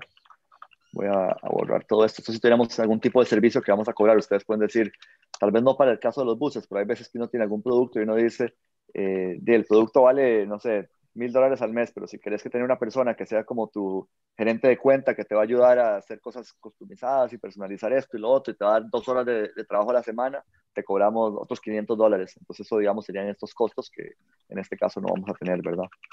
Eh, entonces, eh, costos de garantía tampoco vamos a tener porque esto no es un producto físico, digamos, pues va a ser bien sencillito esto. Aquí tenemos nuestros costos. Vamos de vuelta un segundo a la, al PNL para ver cómo va la cosa. Entonces, vean, vendimos 11 mil dólares y ya llevamos 27 mil dólares en gastos el primer año entre salarios y, renta y ni siquiera hemos desarrollado el software, ¿verdad? No, no. Está complicada la cosa, ¿verdad? Pero bueno, sigamos adelante. Una, cuando, una pregunta, si cuando uno ve que lleva menos 157%, ¿en qué momento tiene que asustarse o infartarse? Porque yo ya estoy infartadísima. Aquí, digamos, esto lo que estamos haciendo es viendo un poco, digamos, la realidad de cómo sería el negocio si decidimos contratar gente por salarios, digamos, entre comillas, reales y que no les vamos a pagar con equity, pero entonces uno dice, pucha, sí, yo no creo que el primer año vamos a poder tener pérdidas de 16 mil dólares, tengo que ir a ver a dónde puedo recortar. Entonces dice, ah, yo me acuerdo que tenía un amigo del cole que le gusta mucho darle soporte a, porque estaba trabajando en algo y tenía horas libres, entonces le voy a dar no sé, 1% de la compañía a cambio de un año de trabajo y, le voy a pagar lo que pueda ahí mes con mes. Entonces uno va recortando y cambiando, pero de, vuelta, esto se vuelve una herramienta útil para entender cómo hacemos para construir este negocio, ¿verdad? De eso se trata. Eh, pero bueno, sigamos para que lo vayan viendo un poquito más ahí cada vez. Entonces, eh, ahora sí estamos ya en la parte de contratación fuera, digamos, de la parte de producción y, servicio al cliente, ¿verdad? Entonces aquí tenemos, dijimos, investigación y desarrollo. No sé si ustedes quieren contratar su propio equipo de ingeniería o si van a decir, contratamos la aplicación una vez y se acabó. Eh, normalmente una compañía como la de ustedes, el software se vuelve el core, ¿verdad? Lo que habíamos hablado como el centro, la, la magia que ustedes están haciendo es su, software. Entonces, rara vez esta compañía no tiene el equipo en casa o adentro de, de la compañía pero tal vez no lo vamos a tener al principio, sino más adelante lo contratamos. Ustedes me dicen cómo lo quieren hacer. De, viendo los, números, yo creo que salen mejor contratar, digamos, el software económico. ok, entonces vamos a quitar todas esas contrataciones, digamos, el primer año y medio, ¿les parece? digamos que lo vamos a hacer nosotros. Sí, sí. Ok, pero bueno, ustedes también van a querer que les paguen, ¿verdad? Por lo menos hasta el tercer año, que yo vi que el tercer año ya teníamos eh, buen margen de ganancia. Ok. Eh, yo en realidad les diría que lo hagamos hasta, el hasta la mitad del segundo año, porque, digamos, si alguno de ustedes va a ser eventualmente el CTO, por ejemplo, el gerente técnico de la compañía, y también van a querer empezar a ganar en algún momento, ¿verdad? Esto no lo pueden hacer ustedes de, de gratis por años de años de años, ¿verdad? Después de un año y medio de no tener salario, creo que se va a empezar a complicar la cosa. Entonces, pensemos que en, un año y medio y después ya empezamos a contratar. Entonces, tenemos el gerente de tecnología. Diga, David, creo que sí, hablando. Sí, un comentario. Es que creo que tal vez cuando yo entré, bueno, no, tal vez antes de entrar a este curso, creo que muchos tenemos la mentalidad y tal vez es una conducta ética que cuando uno tiene su emprendimiento es como que uno paga todo lo que tiene que pagar y lo que sobró es el salario de uno, digamos, así como vilmente, eso es lo que yo me gané va para mi bolsillo. Eh, entonces creo que tal vez por eso uno normalmente no se pone a pensar de que uno tiene su propio salario. No sé, tal vez me gustaría saber la, la opinión de Oscar, no sé si él lo manejaba o en algún momento lo manejó así, como que con su socio se iban tablas con todo lo que es el, el revenue, digamos. Pues sí, yo creo que, o sea, depende muchísimo, creo yo, de la, de la madurez que tenga el negocio, ¿verdad? Al principio, cuando estamos empezando, eh, obviamente es pagar y listo, ¿verdad? Esperar a que nos den al final de mes las cuentas. Pero conforme el asunto va creciendo, eh, uno se va dando cuenta que el, que el tiempo que uno tiene que, invertir eh, se, o sea, es bastante valioso, ¿verdad? O sea, el tiempo que uno está haciendo, prácticamente está trabajando eh, tiempo completo en, en, el negocio. Entonces sí se vuelve una necesidad porque ninguno vivimos del aire, ¿verdad? Entonces creo que depende muchísimo de cada negocio y de cada evolución que tenga, pero sí llega un punto donde se vuelve necesario eh, darle valor a nuestro tiempo y eso significa pues ponernos un salario, ¿verdad? Pero depende, de nuevo, no, no, o sea, no, no es desde el principio, o sea, generalmente cuando uno empieza una empresa, pues hey, empieza desde cero, ¿verdad? Desde menos tanto. Eh, pero conforme va evolucionando un poquito ya se vuelve necesario pues eh, darle valor al tiempo y, y, eso significa que se traduzca en un salario, ¿verdad?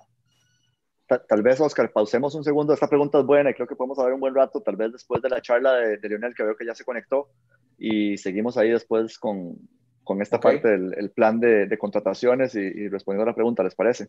Dale, dale, está bien. Perfecto. Perfecto. Eh, bueno, buenísimo. Todavía nadie ha levantado la mano para presentar, así es que vayan preparándose porque si no, les va a tocar a selección a dedo. Pero bueno, vamos a, darle la bienvenida a Leonel, que veo que se conectó. Leonel, estás por ahí, ¿verdad? ¿Cómo va? Sí, buenas tardes. Eso, buenísimo, qué bueno escucharte, mucho tiempo sin, sin hablar. Eh, muchísimas gracias por, por darnos tu tiempo, la verdad que eh, va a estar eh, súper bueno escuchar un poquito de tu historia. Yo les voy a hacer un, un intro breve para que eh, no, no, quitarte mucho tiempo y, y, bueno, queremos escuchar un poquito de tu historia de emprendimiento y luego vamos a pasar a, a las presentaciones para que, para que los muchachos te, te den el pitch y vos les des eh, feedback sobre los temas o, digamos, las partes que habíamos hablado, ¿verdad? Entonces, Super. bueno, sin, sin más, eh, bueno, Lionel es eh, fundador y principal de Grupo Alta. Eh, antes de eso, bueno, que estoy viendo en su LinkedIn, fue director de Connect Assistance, bueno, o sigue siendo más bien, perdón, eh, también es director en Star Dental Implant Center, eh, director en emergencias médicas, eh, director en tractomotriz y co-founder de GoPato, me imagino que muchos han escuchado. antes de eso estuvo en Goldman Sachs como associate y bueno, tiene un master's de Harvard en, ¿cómo se llama?, en administración de negocios y también un, un título de economía de la Universidad de Pensilvania, la escuela de Wharton. Y, bueno, como les digo, un honor tener aquí a Lionel que eh, para los que les dé chance de presentarle, creo que anoten bien el feedback porque va a ser no solamente feedback súper eh, útil, pero también de, del mundo real, ¿verdad? Creo que eh, es una persona que ve muchísimos deals y que sabe, digamos, cómo, cómo está el, la realidad en la calle, por decirlo así. Entonces, bueno, sin más, nuevamente, muchísimas gracias, Leonel, por tu tiempo y te, te voy a ceder aquí la, la palabra y la pantalla, que no sé cómo dejar de compartir. Aquí está. Eso. Buenísimo. Super. Y con eso ahí los dejo. Bueno, buenísimo. No, más bien, gracias a ustedes por, por, por invitarme a hablar para un poco de rato. Eh, tal, tal, vez eh, Max me dijo que les contara un poco de, mi historia eh, y después podemos hablar un poco de los proyectos de ustedes. Eh, les puedo contar por, por arriba la historia, eh, pero si quieren preguntar o profundizar en alguna de las fases de, de los proyectos que he estado involucrado, tal, vez todavía mejor para, para poder estar seguro que le entremos a las, a las preguntas que ustedes tengan, si es que están considerando entrar a, a emprender y todos sus, sus, sus, bellezas y sus, riesgos. Eh, les cuento por arriba y, y tal me, me, me, me lo voy a entrar un poco más de fondo a la parte de donde estuve como, como emprendedor por, por dos, tres años dentro de GoPato, que hay, creo que hay muchas lecciones eh, interesantes que podemos eh, entrarle y, y, sacarle provecho. Bueno, como decía Max, eh, yo eh, crecí en, en, Costa Rica, a los 18 años me fui a estudiar a, a Estados Unidos finanzas, estuve, estuve estudiando finanzas sin saber mucho qué era finanzas, eh, pero era como lo, lo que la, la, familia en ese momento me que había que estudiar. Entonces, por dicha y por guada, me, me, terminó gustando. Y después de estudiar finanzas, me fui a trabajar a, a Londres eh, dentro de un banco de inversión que se llama Goldman Sachs, en un grupo que muy interesante lo que hacía era invertía en, en compañías, eh, ya sea que estuvieran en procesos de quiebra o, o estuvieran quebradas. Y, y, lo, que está, lo que hacíamos ahí era tratar de encontrar algún ángulo de evaluación donde podríamos sacarle mejor provecho a algunos de los activos que quedaban en la compañía para ya sea eh, relevantarla o, o, liquidarla de alguna manera que, que, eh, a un precio más alto de lo que habíamos pagado. Entonces, en ese momento era en el 2000, 2008 y eso era el, el, el punto crítico de la, de la, crisis financiera. Entonces, estando en Europa me tocó muy interesante ver eh, un montón de, de, bancos españoles, portugueses y, italianos que, que, estaban con un montón de, de, de, deudas bastante malas. Entonces lo que íbamos los bancos y les comprábamos esa deuda y les decíamos que si esa deuda, la compañía les debía 100 dólares, entonces la compra usted por, por 5 centavos literalmente, o sea, 5 dólares en ese caso y, y, evaluábamos, y tratábamos de a través de la deuda eh, reconvertir la compañía, tomar control de la compañía y, y, reconvertirla. Entonces, hice eso por, por cuatro años, eh, aprendiendo mucho de, de, finanzas y después de eso decidí empezar a encaminarme de vuelta a Costa Rica, donde siempre había eh, querido regresar y, formar mi familia. Entonces hice una maestría en Estados Unidos y, en ese proceso de hacer la, maestría me dio un chance para pensar qué es lo que quería hacer regresando a Costa Rica. Regresé a Costa Rica a montar un, más que un fondo de inversión, era como un club de inversión donde buscaba oportunidades para adquirir compañías eh, y parecido a lo que se hacía anteriormente, de alguna manera hacerlas crecer eh, y crear un, interesante retorno financiero sobre esa inversión y al año de estar buscando compañías y, para ser sincero, relativamente aburrido porque no había tantas oportunidades eh, tangibles que, que, buscar, eh, paralelamente siempre había quedado con el gusanito de eh, hacer algo en, algo en el mundo de emprendedurismo.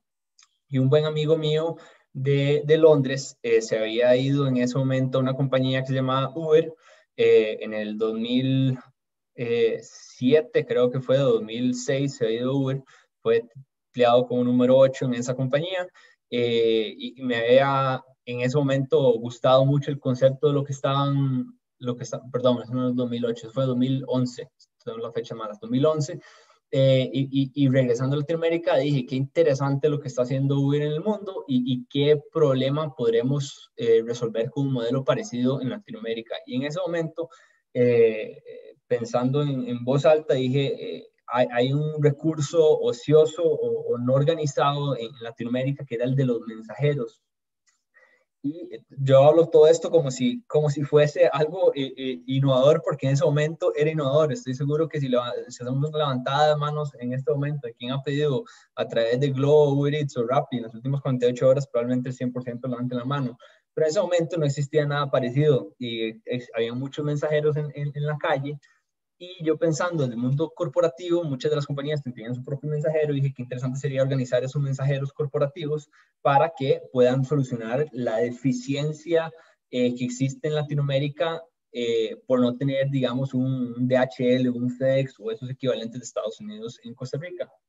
Y explorando ese, ese concepto ese, esa idea o ese hueco oportunidad de plataforma que hacía, me encontré con, con lo que fue eventualmente mi socio, que llama José, se, llama José Navarro, eh, y que estaba empezando esta compañía que se llama GoPato. Y el concepto de él era, era algo diferente, pero, pero mantenía la misma, eh, explotaba la misma, digamos, eh, deficiencia, que era mensajeros con muy poca visibilidad de calidad y, de una manera muy fragmentada eh, la industria. Y, él estaba entrando más por el lado de, del consumo retail y él decía, qué pereza ir a, mm, hacer vueltas un domingo al, al, centro comercial, eh, voy a, hacer una, una, oferta a ver quién quiere que ponga este mensajero a disposición para que le haga toda la vuelta que, quiera.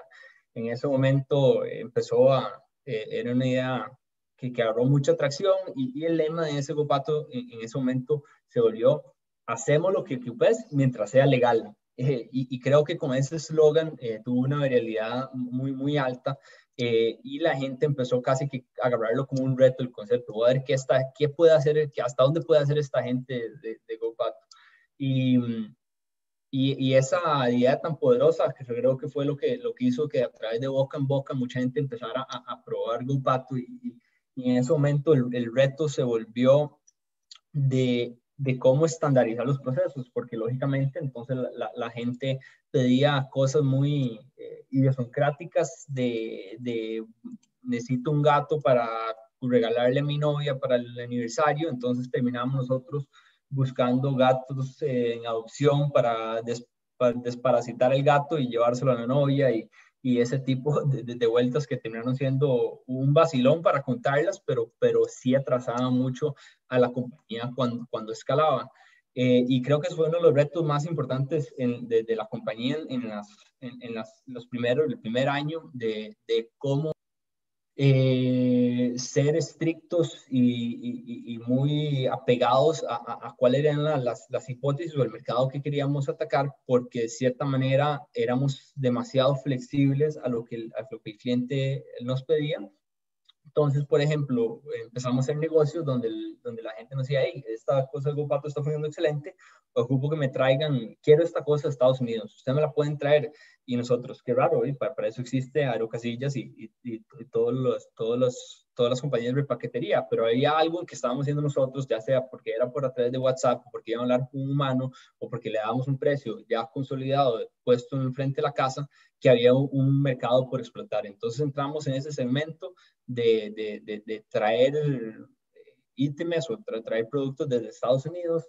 Eh, hasta que un en diciembre, efectivamente, eh, la carga se quedó frenada en aduanas y terminé yo pasando todo el 24 y el 25 eh, como pato, eh, viendo a ver cómo le conseguía regalos a, todos los clientes que habían confiado en nosotros para que le trajéramos el regalo de Navidad al hijo y, no lo podíamos tener porque el, el, el, el juguete estaba pegado en aduanas. Entonces, todos esos son como ejemplos vacilones que cuento eh, porque estoy seguro que, que, se enfrentarían ustedes al, al emprender de, de, cómo acoplarse a las necesidades del cliente, o sea, cómo eh, aprender a decir no, lo difícil que es aprender a decir no cuando, cuando el costo de oportunidad o, o, cualquier ingreso para uno es, es exponencialmente más alto. Entonces, eh, hay algo, hay bastantes lecciones o, pensamientos que desarrollar en, conforme ustedes van eh, encontrando dónde es que su idea se acopla a, las necesidades del mercado.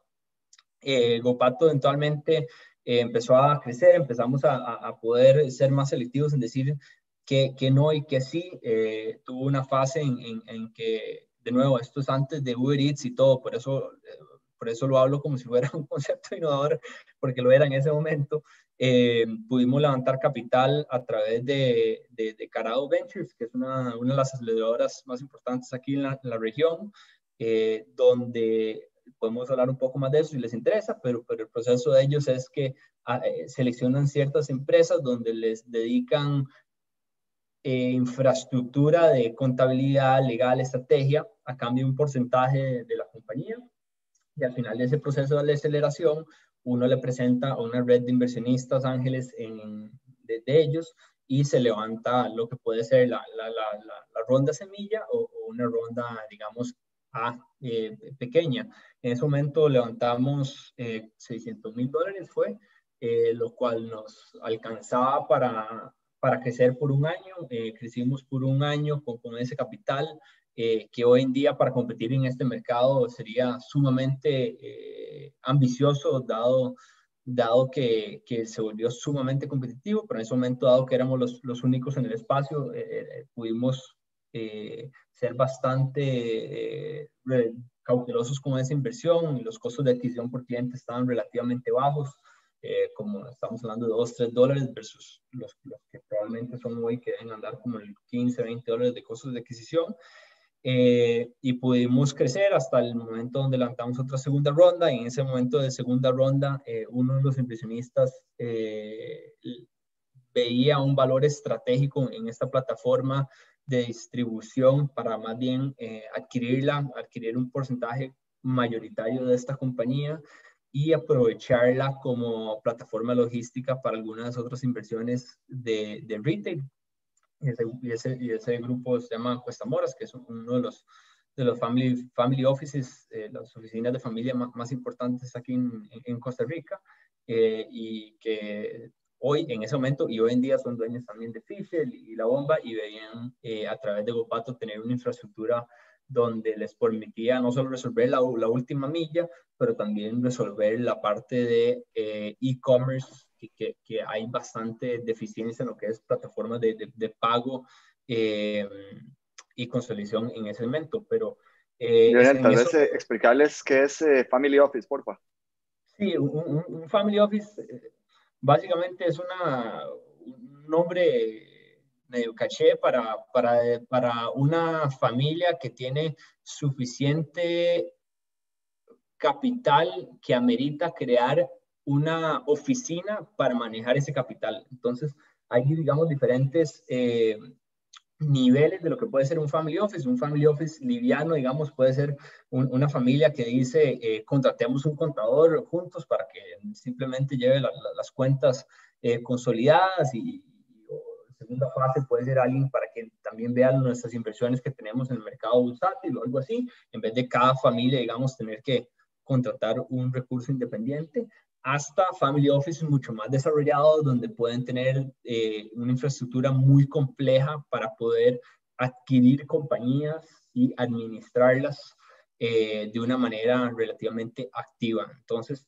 es un rango bastante amplio, eh, pero usualmente si son para familias que, que, tienen suficiente capital, que ven valor en, en, en, consolidar ciertos gastos eh, administrativos y de, y de, manejo de recursos de, de, esa familia.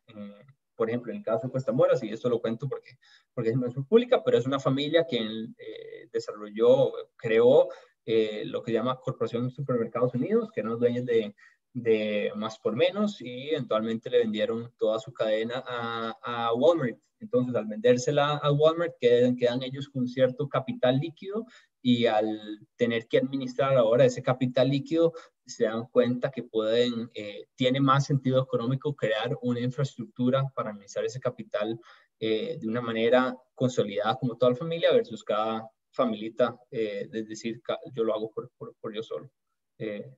Tal vez respondido a eso, sí, Max, listo. Sí, genial.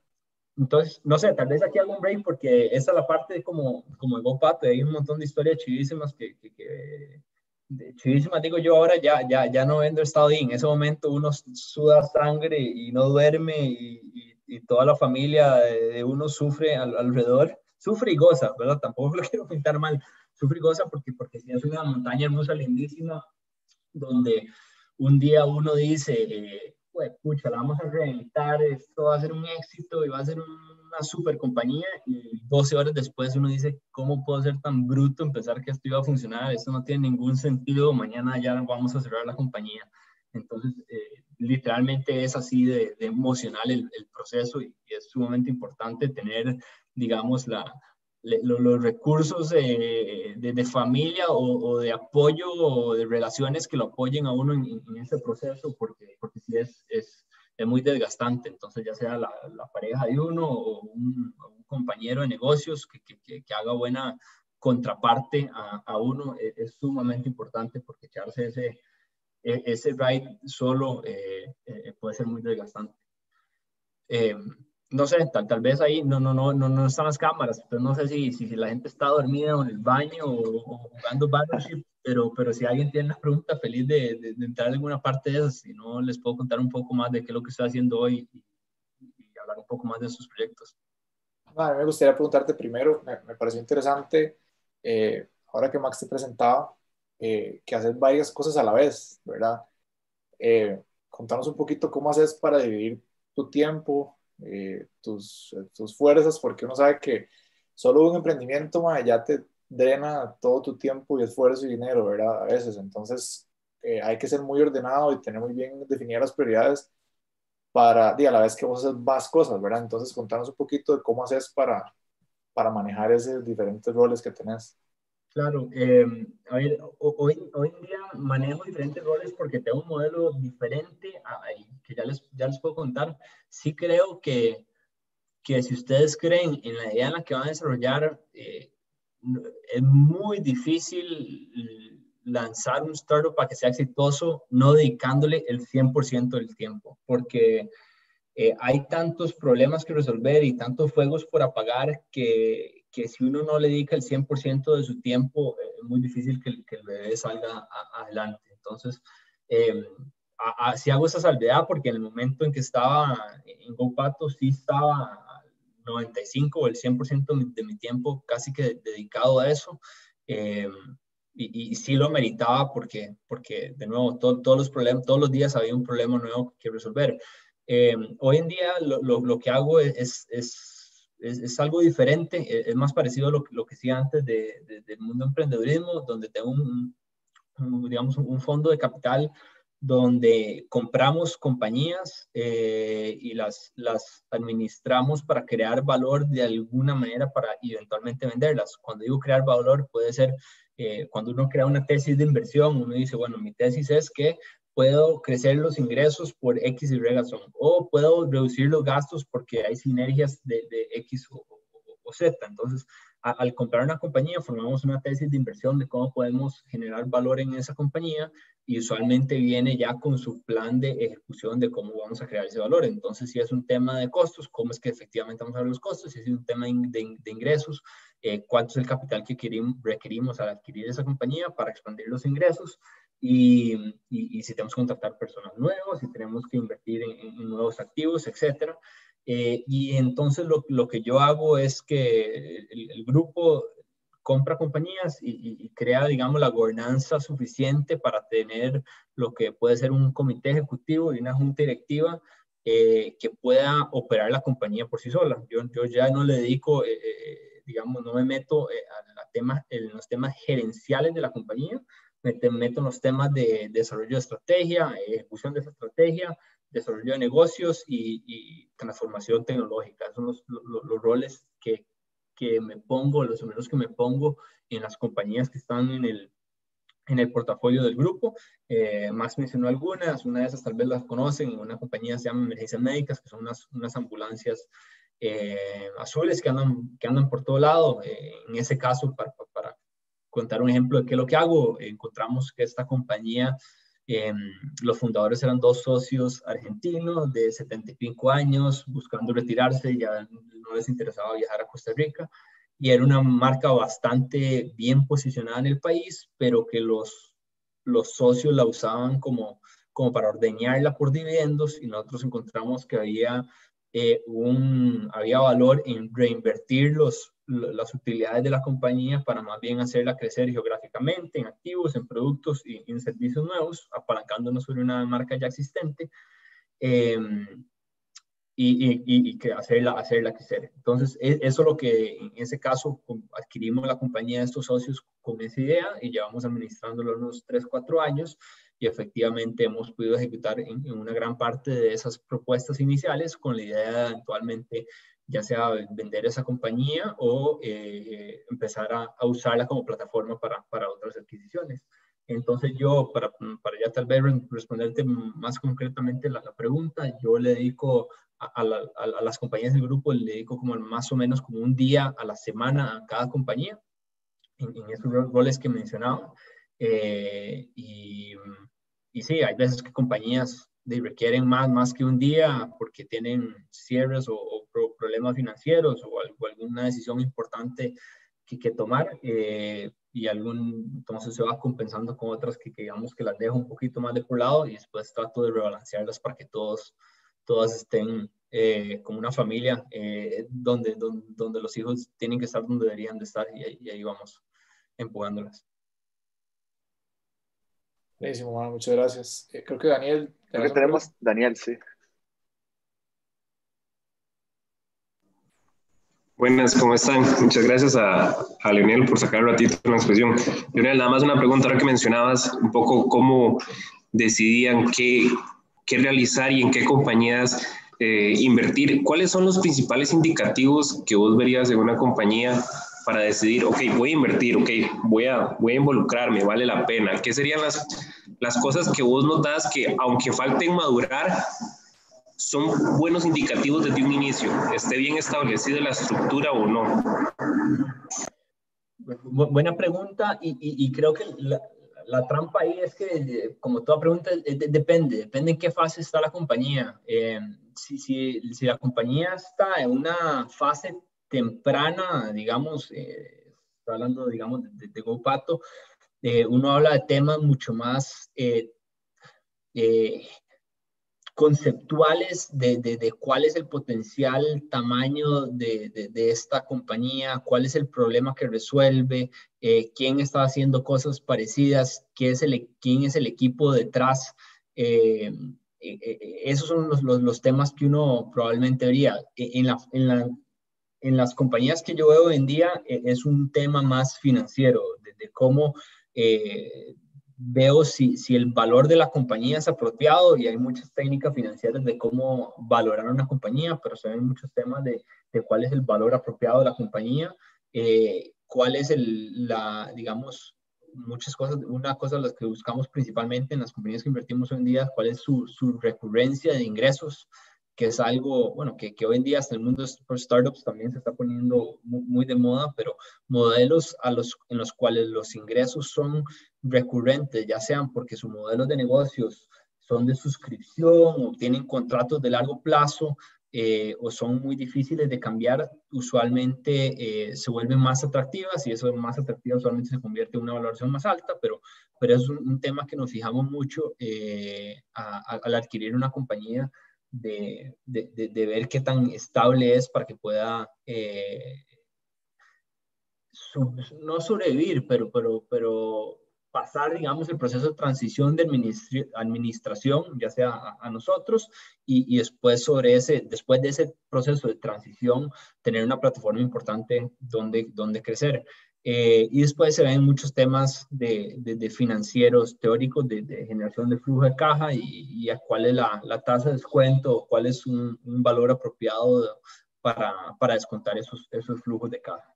Eh, entonces, no, no, yo sé que hice trampa porque, porque todo, respondí depende, pero, pero sí, sí depende. Por, por eso es que, digamos, capital de riesgo, eh, se le dice capital de riesgo como un solo, pero ahí hay una fase muy muy, muy, eh, no obvia, pero ya muy demarcada en el mundo financiero, donde hay fondos que se dedican, bueno, o sea, de una más temprana edad, donde hay inversionistas ángeles, donde pueden ser simplemente invirtiendo porque creen en vos, eh, hasta gente que invierte lo que se puede llamar eh, seeds o, o, las fases iniciales donde hay que comprobar que hay alguna alguna aceptación por el mercado por esta propuesta que estás, que estás, eh, que estás proponiendo, hasta una serie A donde, bueno, Max conoce eso tal vez más que yo, una serie A donde ya es una de, cómo puedo escalar e, esta propuesta que ya demostré que, que, que se hace encaje con el mercado, cómo la puedo escalar hasta ya fases mucho más eh, avanzadas, donde, se llama private equity, donde es simplemente ya la compañía está muy establecida. Lo que quiero aquí no es ver si va a crecer al, al 50% año por año, pero tengo que ver si va a crecer al 2 o al 3% y cómo puedo crear una estructura de capital eh, financiera para poder, eh, ¿cómo se llama?, exprimir todo, todo, todo el retorno o cualquier ganancia de margen mínimo. Entonces depende de la madurez de la compañía, el inversionista va a ver diferentes, va a haber diferentes factores. ¿Te, respondí la, la, pregunta, Daniel? Sí. Sí, muchas gracias, Leonel. Tal vez, tal vez si pudieras, digamos, como para puntualizar el ejemplo, un caso específico, supongamos que vas a como en el caso de emergencias médicas que mencionabas, una compañía que ya está posicionada, que ya tiene una estructura, que tiene unos socios que tienen su idea de la compañía, ¿verdad? Entonces, digamos, llegar a invertir y sobre todo a dedicarle tiempo a cambiar la administración de una compañía que, que ya está tan establecida, muchas veces es un trabajo y cansón digamos, ¿qué es lo que, en ese ejemplo, por ejemplo, eh, para poner un, caso puntual, qué es lo que te hizo ver que había un valor ahí en hacer todo este esfuerzo asociado a, a no solo la compra, sino de la actualización del, del, de, la, de, la, operación de la compañía?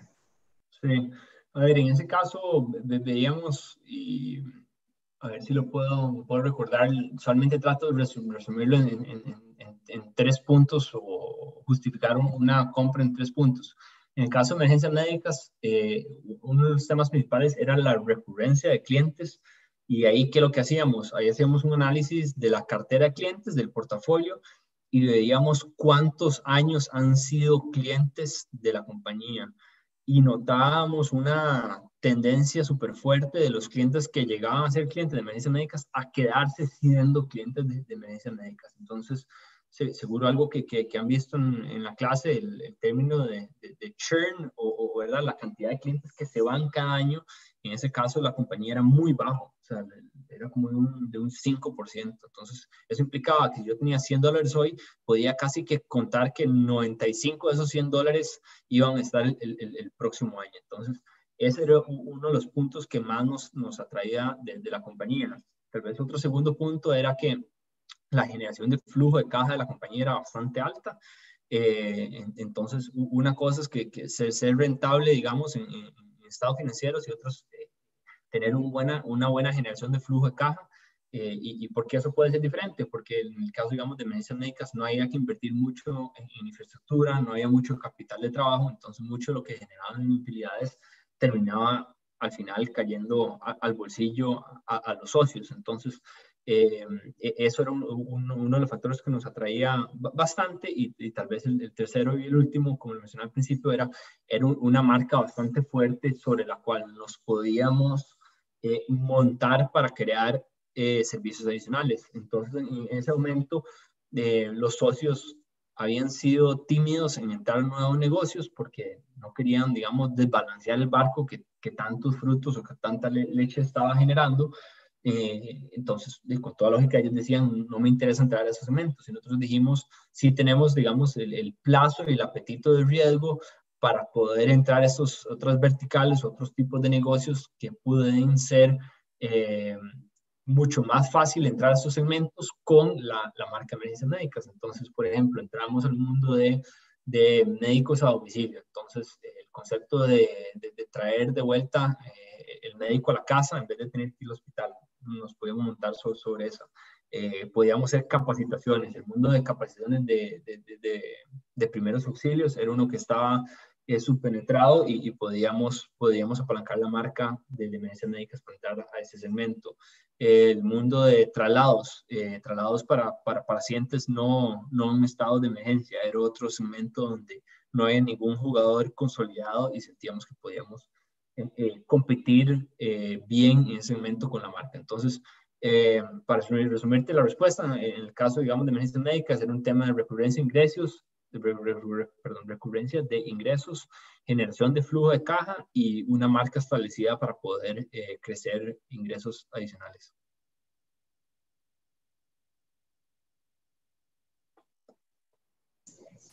Muchas gracias, Leonel. Me queda muy clara la pregunta. Pero vida. Claro. Buenísimo, muchachos. No sé si hay alguien que más tenga preguntas o Max, si querés vos. No, yo podría preguntar por años, pero quisiera que alguien se anime a que haga el, pitch eh, para que Leonel nos dé un poquito de feedback eh, y aunque sea, digamos, probablemente nos va a dar chance como para hacer uno, a lo mejor dos, pero solamente escuchar, digamos, como él aborda el, la, el feedback creo que va a ser útil para, para toda la clase. Entonces, de vuelta, le doy el chance de que alguien se voluntarice y si no, escojo. Si se anima alguien, levante la mano o de una vez, quita el mute y, y pueden, pueden presentar. Oh, oh, suena que viene aleatorio. bueno, que escoja a Leonel entonces, que no los conoce, para que no digan que yo escogí sabiendo quiénes eran. Hijo de pucha. Eh, a ver cómo. Voy a decir un nombre aquí aleatorio y el, esa persona va a. María José Barquero. Hola, hola. ¿Me hola. escuchas? Le tocó si estás. Voy a conectarme en toque los audífonos. Voy. Sí. Y si puedes poner el, el pitch deck, lo tenés ahí a mano.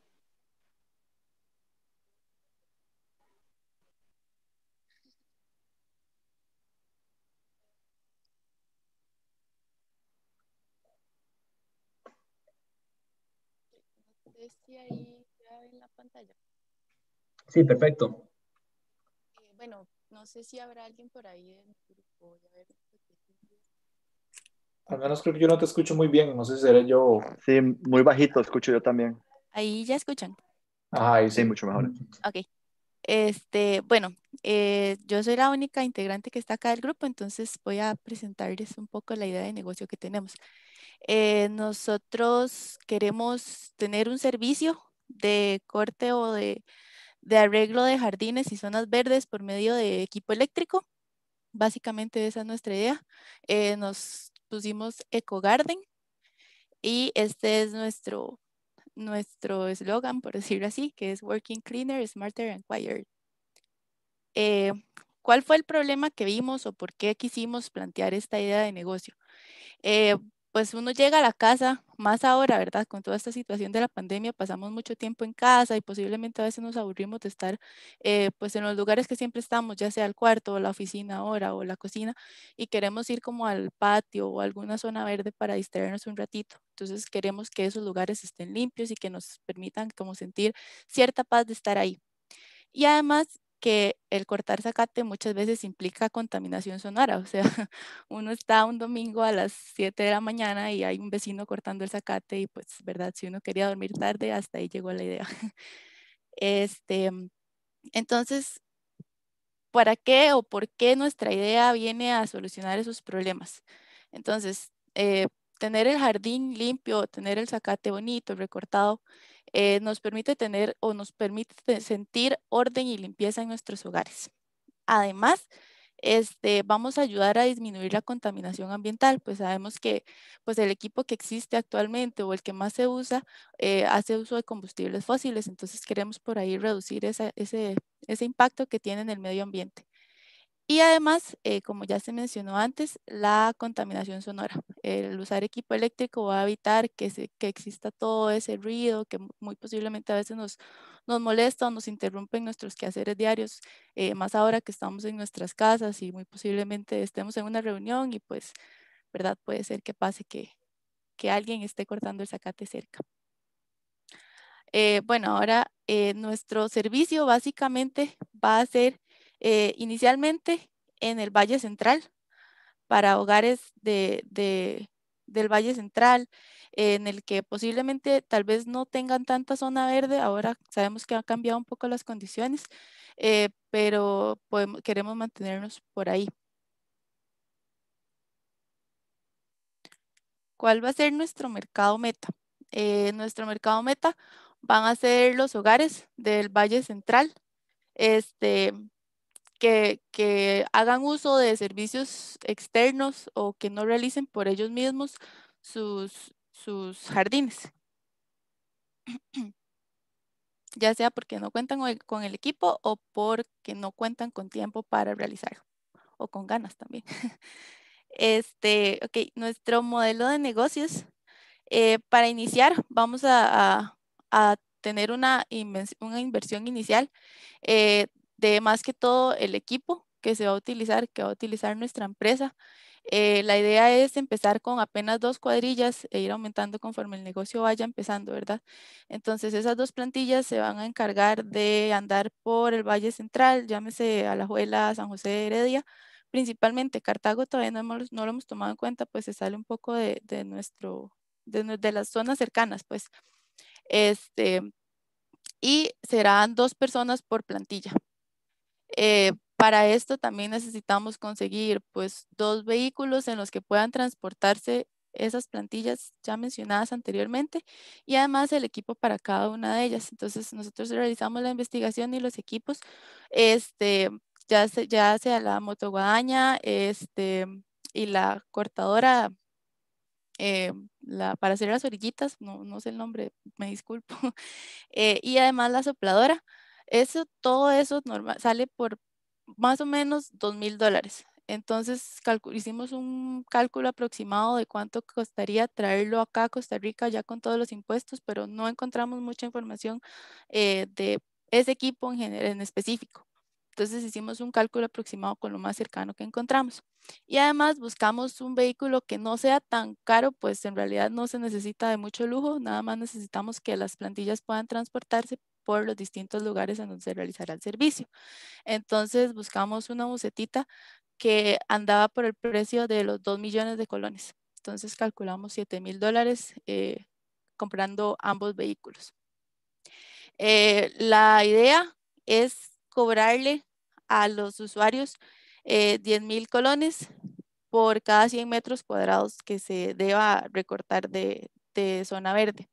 Eh, también planeamos ofrecer servicios de suscripción, ya sea mensual o eh, trimestral o de manera anual, en el que si se contratan esos servicios ya periódicos, este, el precio por cada uno será, será menor que si lo contratan cada, no sé, ¿qué le digo? Cada dos semanas que llamen y nos digan, bueno, necesitamos que vengan.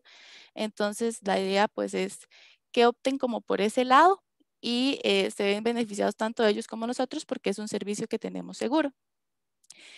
Eh, y además, bueno, se espera que eh, para, para el segundo año podamos aumentar al doble nuestra, nuestra, nuestro grupo de trabajo, nuestras planillas, pues. ¿Cuál es la ventaja competitiva? Y esto más que todo lo vimos de las encuestas que tuvimos que realizar como tarea.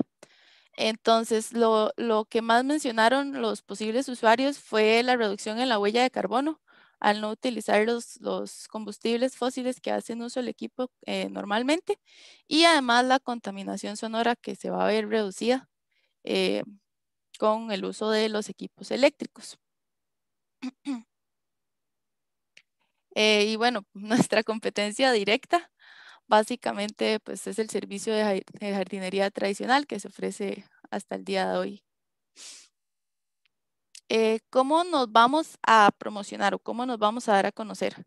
Pues más que todo por redes sociales. Eso sí, queremos enfocarnos más que todo en Facebook porque sabemos que lo usan diferentes poblaciones, digamos, no es de la misma población la que utiliza Instagram que la que utiliza Facebook. Eh, posiblemente las personas que utilizamos Instagram tal vez todavía no tenemos poder adquisitivo para tener nuestra propia casa y no, nos preocupamos por, por quién corta el zacate en nuestra casa, ¿verdad? Es algo que lo realiza otro, otra persona. Y además, eh, pues la recomendación de boca en boca, que muchas veces es más valiosa que una red social, digamos, eh, que alguien de confianza a mí me recomiende un producto, eh, pues me hace tener más interés en adquirirlo. Y bueno, acá está el equipo, somos tres. Alan Matamoros, que por ahorita él es estudiante de ingeniería eléctrico y de ingeniería eléctrica, perdón, y es cogestor de la idea del negocio mi persona, María José Barquero, que igual este, estudio ingeniería eléctrica y soy cogestora de idea de negocio. Y por último está Isaac Jiménez Vega, que de igual manera es estudiante de ingeniería eléctrica y cogestor de la idea de negocio. Eh, para la búsqueda de fondos, lo que tenemos pensado es cubrir el 60% de los gastos iniciales, eh, nosotros tres, eh, los tres integrantes del equipo y el restante 40% que nos haga falta, eh, buscarlo por medio de inversionistas y que, al, bueno, de acuerdo a cuál sea el, porcentaje que, que aportan al, al, gasto, así sea como la cantidad de acciones que adquiere de la empresa. Y pues eso sería por ahorita. Súper, muchas gracias María José. Eh, eh, tal vez aquí tengo, no sé, Max, algún par de, como de comentarios, preguntas o, cómo, cómo, te parece? Eh, la audiencia es tuya, lo que, lo que, lo que te parezca mejor, adelante. Ahí, ahí, si hay más preguntas o conversación, adelante, pero sí nos encantaría escuchar tus comentarios de cómo lo ves. Súper. a ver, me, me, parece muy interesante y de hecho en la época de, de GoPato nosotros veíamos este segmento como como algo interesante. ¿Por qué? Porque compartía muchos de los, de los problemas de los mensajeros, en que era una industria muy fragmentada, no había ningún jugador consolidado grande, donde no había mucha visibilidad sobre la calidad del servicio. Como decías, hay mucho de boca en boca, pero, pero, es difícil saber si, si en serio eh, hay una marca o un respaldo detrás y, y que se prestaba mucho para, de alguna manera, de alguna plataforma tecnológica, empezar a ordenar este mercado. Me, parece interesante el, el, ángulo que le das de, de, verde, porque sí, se, sí me imaginaría y creería que alguien que aprecia mucho su jardín es alguien que sea más propenso a, a ser consciente de su huella de carbono y, y, puede ser un, nicho donde la gente sí esté dispuesta a, a contratar eh, con, esta, digamos, esta ventaja competitiva. O sea, tal vez una pregunta cuando, cuando hablabas mucho, de, cuando hablabas de la ventaja competitiva, el, el, sonor, el, la, la, bulla, la contaminación sonora, perdón, y, em, y la, la, la, huella de carbono, una pregunta que, que, que, que me resalta es, ¿cómo podemos saber si la gente en serio está dispuesta a, a, pagar por, por, por, esa diferenciación? Eh, entonces, si decís, ah, no, es que nuestro, nuestro modelo de costos lo podemos dar al mismo costo, ok, perfecto, tal vez entre, entre dos jugadores, eh, ¿por, ¿por, qué no escoger a alguien que vaya a dejar menos huella de carbono? Pero asumiendo de que por alguna razón la industria no se haya movido a, a herramientas eh, eléctricas, asumiría que hay un tema de, de costos incrementales, entonces como, como, ¿no? como inversionista o como persona X, algo que, una pregunta que sí me surgiría sería, ok, excelente, ¿cuánto está, ¿hasta cuánto estaría dispuesto la gente a pagar un, ¿verdad? un sobreprecio por esas dos propuestas de valores? ¿Un 5%, un 20%?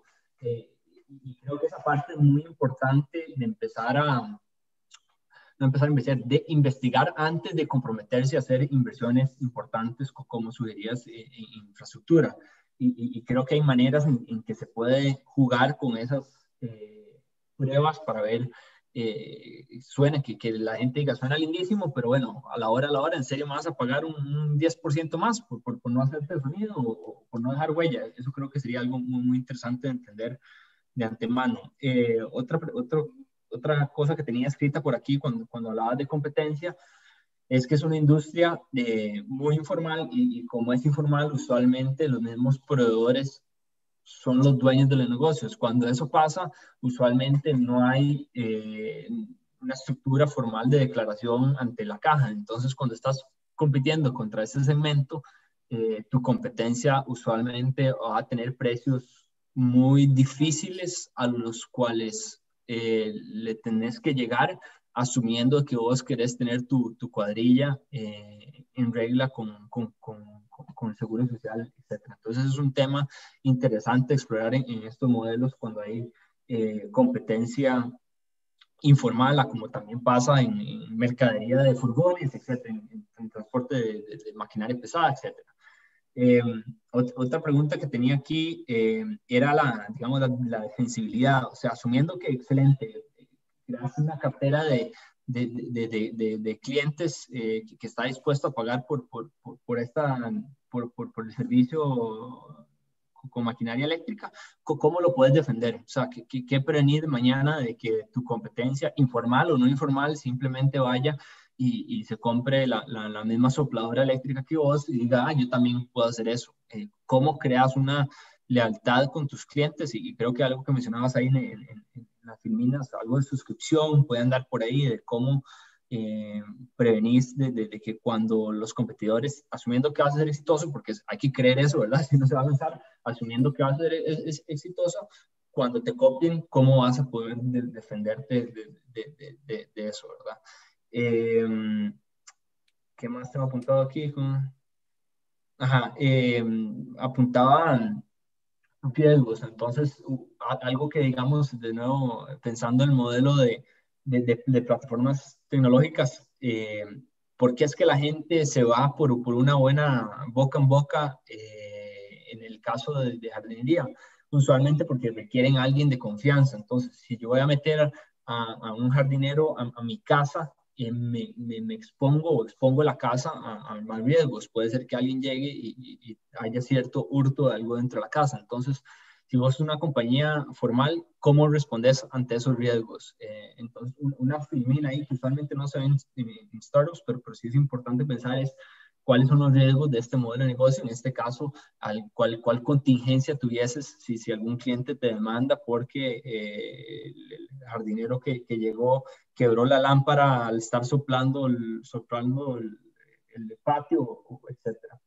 Eh, y, y, por último, creo que lo, lo he mencionado antes, pero, pero mucho en, en startups se trata, ¿verdad?, de, de cómo puedes probar eh, de la manera más barata. Eh, entonces, antes, digamos, ¿verdad? Invertir en, en, una sopladora. Vos podés eh, alquilar una sopladora y, entonces te, te, te, un fin de semana te pones ahí por, por el barrio a ofrecer el servicio de, de, limpiar el, el, jardín vos misma eh, con la sopladora eléctrica que, que alquilaste. E, ese tipo como de, experimentos son sumamente valiosos, valiosos porque uno, te ahorras potencialmente gastos importantes en, en, en CAPEX, en, activos que también no tenías que juntar, pero, pero más que todo porque te ahorras tiempo en entender cada vez mejor lo, que llaman en Estados Unidos los, los, pain points, ¿verdad? Los, los, puntos de dolor desde el cliente, qué es lo que en serio le, incomoda al cliente. Ese, es, el, es el sonido, hablamos mucho sonido, pero puede ser que, que el cliente de, todos los lunes salga para el trabajo y la persona si está en el trabajo, no está en la casa, no le importa el sonido. Entonces tal vez uno sobredimensiona algún elemento que uno cree que es diferenciador y no se da cuenta hasta la hora a la hora y después ya tenés tres sopladoras ahí en tu garaje y no sabes qué hacer, qué hacer con eso. Entonces el proceso de, de, de, entender el problema es, es sumamente importante y, y, ya sea porque tenés, usualmente, o sea, startups exitosos son porque entienden el problema muy bien, porque ya vienen de esa industria y digamos les tocó eh, vivir el problema y sufrirlo, o, porque estás obsesionada con un problema y te has dedicado para entenderlo, entenderlo, entenderlo y llegar a la raíz de, cómo solucionar ese problema. Entonces, eh, el proceso de hacer experimentos antes de comprometerte a, cierta inversión en, activos o, o, hasta comprometerte con, con, decisiones personales, digamos, como, ah, bueno, voy a renunciar de un trabajo con un salario estable para, para probar esto es, e, es, sumamente importante en el proceso que vas eh, moldeando tu, tu idea. Eh, e, esos eran como mis comentarios. No, no me los tenés que responder, pero, pero creo que eso es como el sentido de... Lo, lo disparé a lo loco, pero, pero es un tipo de, de, de preguntas que creo que algún potencial inversionista te pudiese hacer. Sí, no, muchísimas gracias porque de verdad, bueno, en realidad hay cosas que, que no tomamos en cuenta. Por ejemplo, esta parte de, de, de lo de la, de la caja, digamos, no consideramos tal vez que sí, que eh, tenemos que cubrir esos gastos. Entonces, eh, de fijo son cosas que, que, vamos a tomar en cuenta para cuando nos toque ya exponer la, la presentación final. Y sí, muchas gracias. Buenísimo, Leonel. Eh, yo tengo un par de comentarios ahí también, María José. Si querés, eh, puedes bajar un par de slides para... Sí. Yo creo que, bueno, el problema y la solución creo que están bastante, bastante claros, el servicio también, a donde creo que hay un poquito de oportunidades en el mercado. Creo que deberían de tratar de cuantificar, el anterior, sí, de tratar de cuantificar primero cuál es el tamaño de ese mercado. Eh, eso comienza, digamos, con entender cuántos jardines, digamos, perdón un segundo, creo que tengo el perro aquí que está disculpen.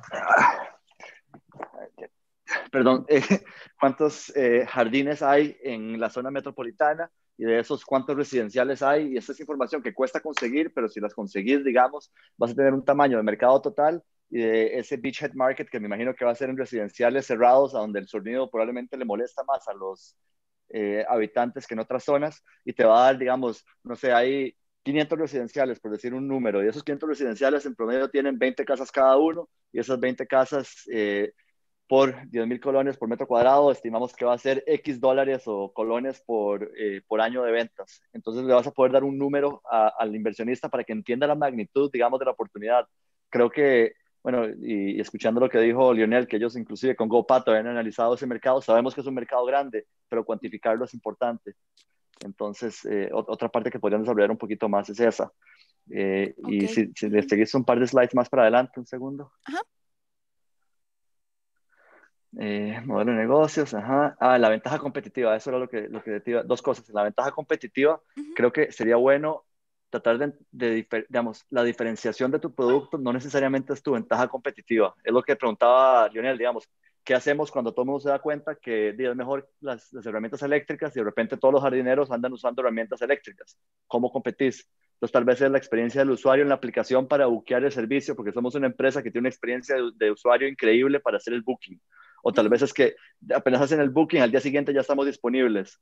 Eh, o sea, no sé cuál es, pero difícilmente, digamos, eh, estas dos que tenés aquí van a ser ventajas competitivas porque son fáciles de copiar, ¿verdad? Cualquiera que tenga acceso a una herramienta eléctrica las va a poder copiar. Eh, y la última es en, el slide que sigue. Eh, cuando, cuando hablas de competencia, sería bueno tener esa matriz de 2x2. ¿Te acuerdas que la habíamos visto? Donde decir, digamos, somos eh, más silenciosos y no sé cuáles son los dos ejes, pero hay que pensar bastante en esos dos ejes que te van a decir digamos, los jardineros normales son más lentos y más bulliciosos, nosotros somos más rápidos y más silenciosos, por ejemplo. No sé cuáles son los dos ejes, pero es una manera buena, digamos, de, plasmar la competencia en, en, un solo slide para que lo, lo, traten de incluir ahí. Ok, listo, sí, muchas gracias. Ya aquí lo apunté para la exposición.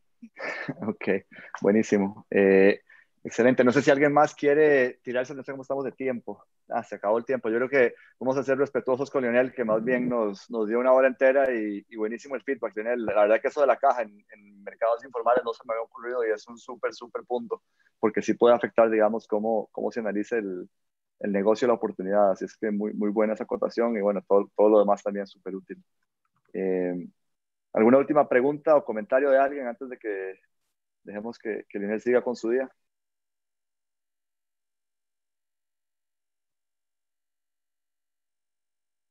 Listo. Bueno, lo, lo, felicito. Eh, de nuevo, no, me parece que el emprendedurismo es lindísimo. Hay una, es una excelente eh, época en la, en la, vida para, para mandarse emprendedurismo. Creo que lo que estamos viendo en cambios tecnológicos dan para que se pueda probar de una manera mucho más barata eh, a lo que se podía hace 20 años. Entonces, se puede, volviendo al, último comentario, creo que se puede entender los problemas de una manera más eficiente, lo que decía antes, y, y si hay algo que los apasiona, un problema que lo han vivido muy de cerca, creo que eso es una excelente eh, semilla donde empezar. Eh, aquí les voy a dejar mi, mi correo en el, en el chat de, de, Zoom por si algún día quieren hablar de algo más, feliz de, de, dedicarle un poco de tiempo para ver si puedo ayudar de algo.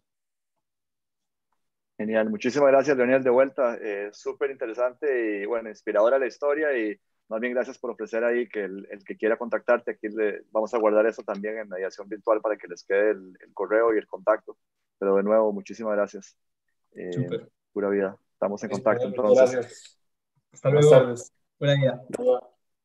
Bueno, y bueno, para la clase tal vez vemos ahorita unos que 10, 15 minutos. ¿Cuánto quieres dar, Oscar, de, de break para continuar con los... 15 minutos, 15 minutos, ¿te parece? Perfecto. Regresamos en 15 minutos. Sí, exacto, 4 y 15 de vuelta por acá para terminar con la parte de proyección financiera. Bueno, nos vemos ahorita.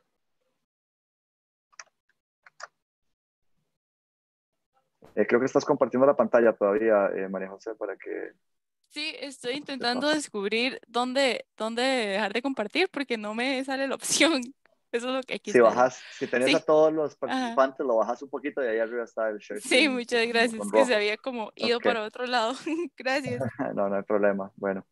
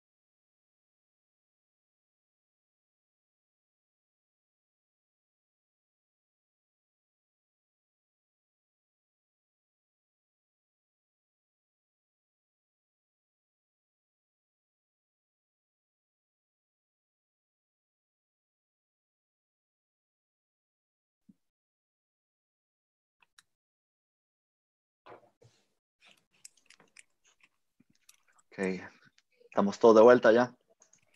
Vamos, muchachos, nada más para acordarles, yo voy a subirles el- los contactos a mediación virtual de todos los que han estado en las charlas. No sé quién me falta, voy a revisar, pero creo que están todos.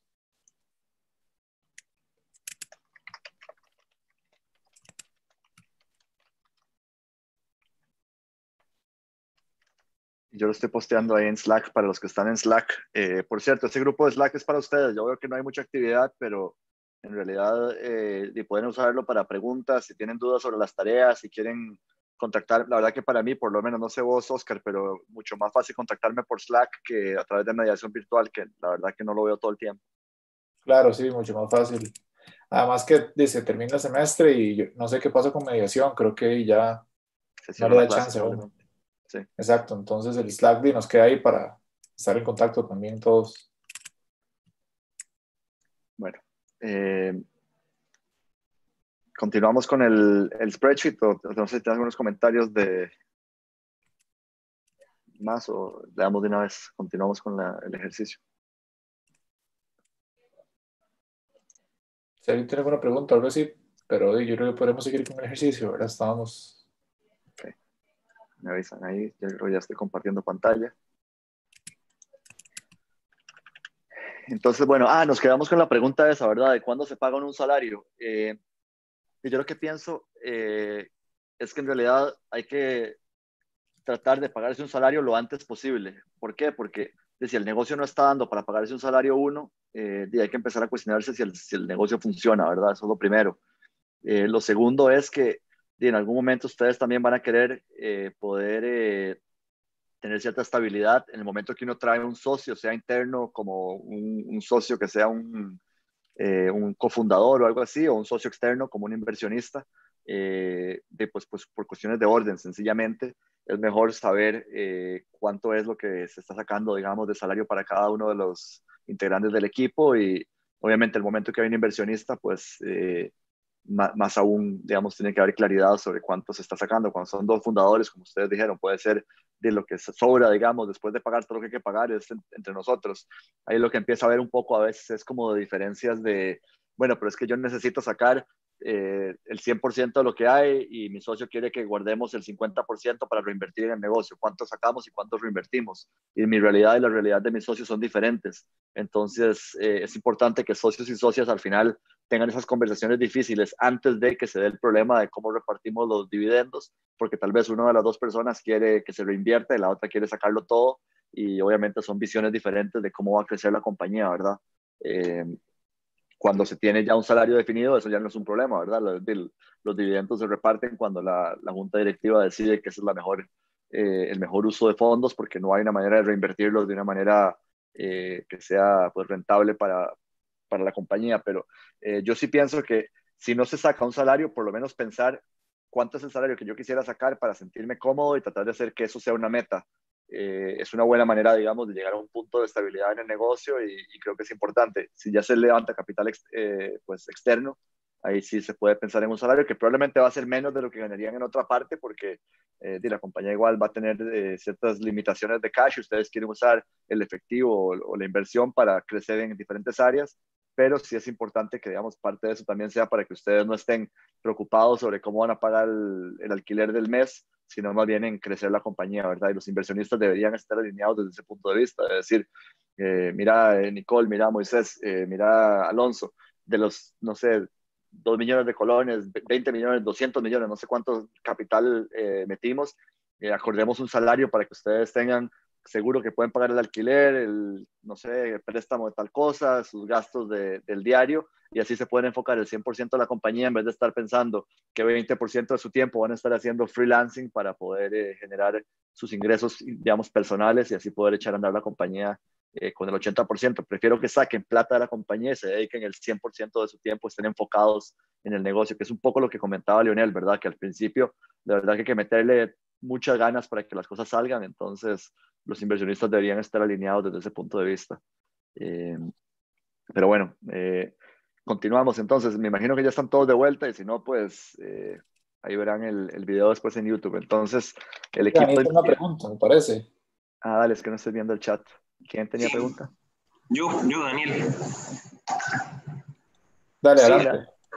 La pregunta mía, profe Max, era, por ejemplo, entonces, si, si la idea es definir un salario en ese momento, entonces yo debería hacerlo hasta que ya yo esté seguro que dentro de mi flujo de caja no voy a tener, a tener ningún evento inesperado que me obligue a, a, digamos, a decir, "Di, no, este mes no me, no me puedo pagar. Di, Yo sé que muchos emprendimientos, especialmente al inicio, tal vez pueden tener ciertas situaciones que no están previstas, que pueden hacer de cala suficiente en, en, las finanzas. Entonces, digamos, si yo tengo un evento inesperado y, y yo estoy pensando en decir, ok, me voy a pagar menos para poder pagar esto, quiere decir que tal vez no, todavía no debería estarme pagando un salario o que el salario que me debería pagar debería ser más pequeño. O sea, debería yo dejar, o sea, debería yo tener mi salario hasta que yo esté seguro que indistintamente de las situaciones, a no ser casos muy graves, yo siempre lo pueda pagar. Esa es mi consulta.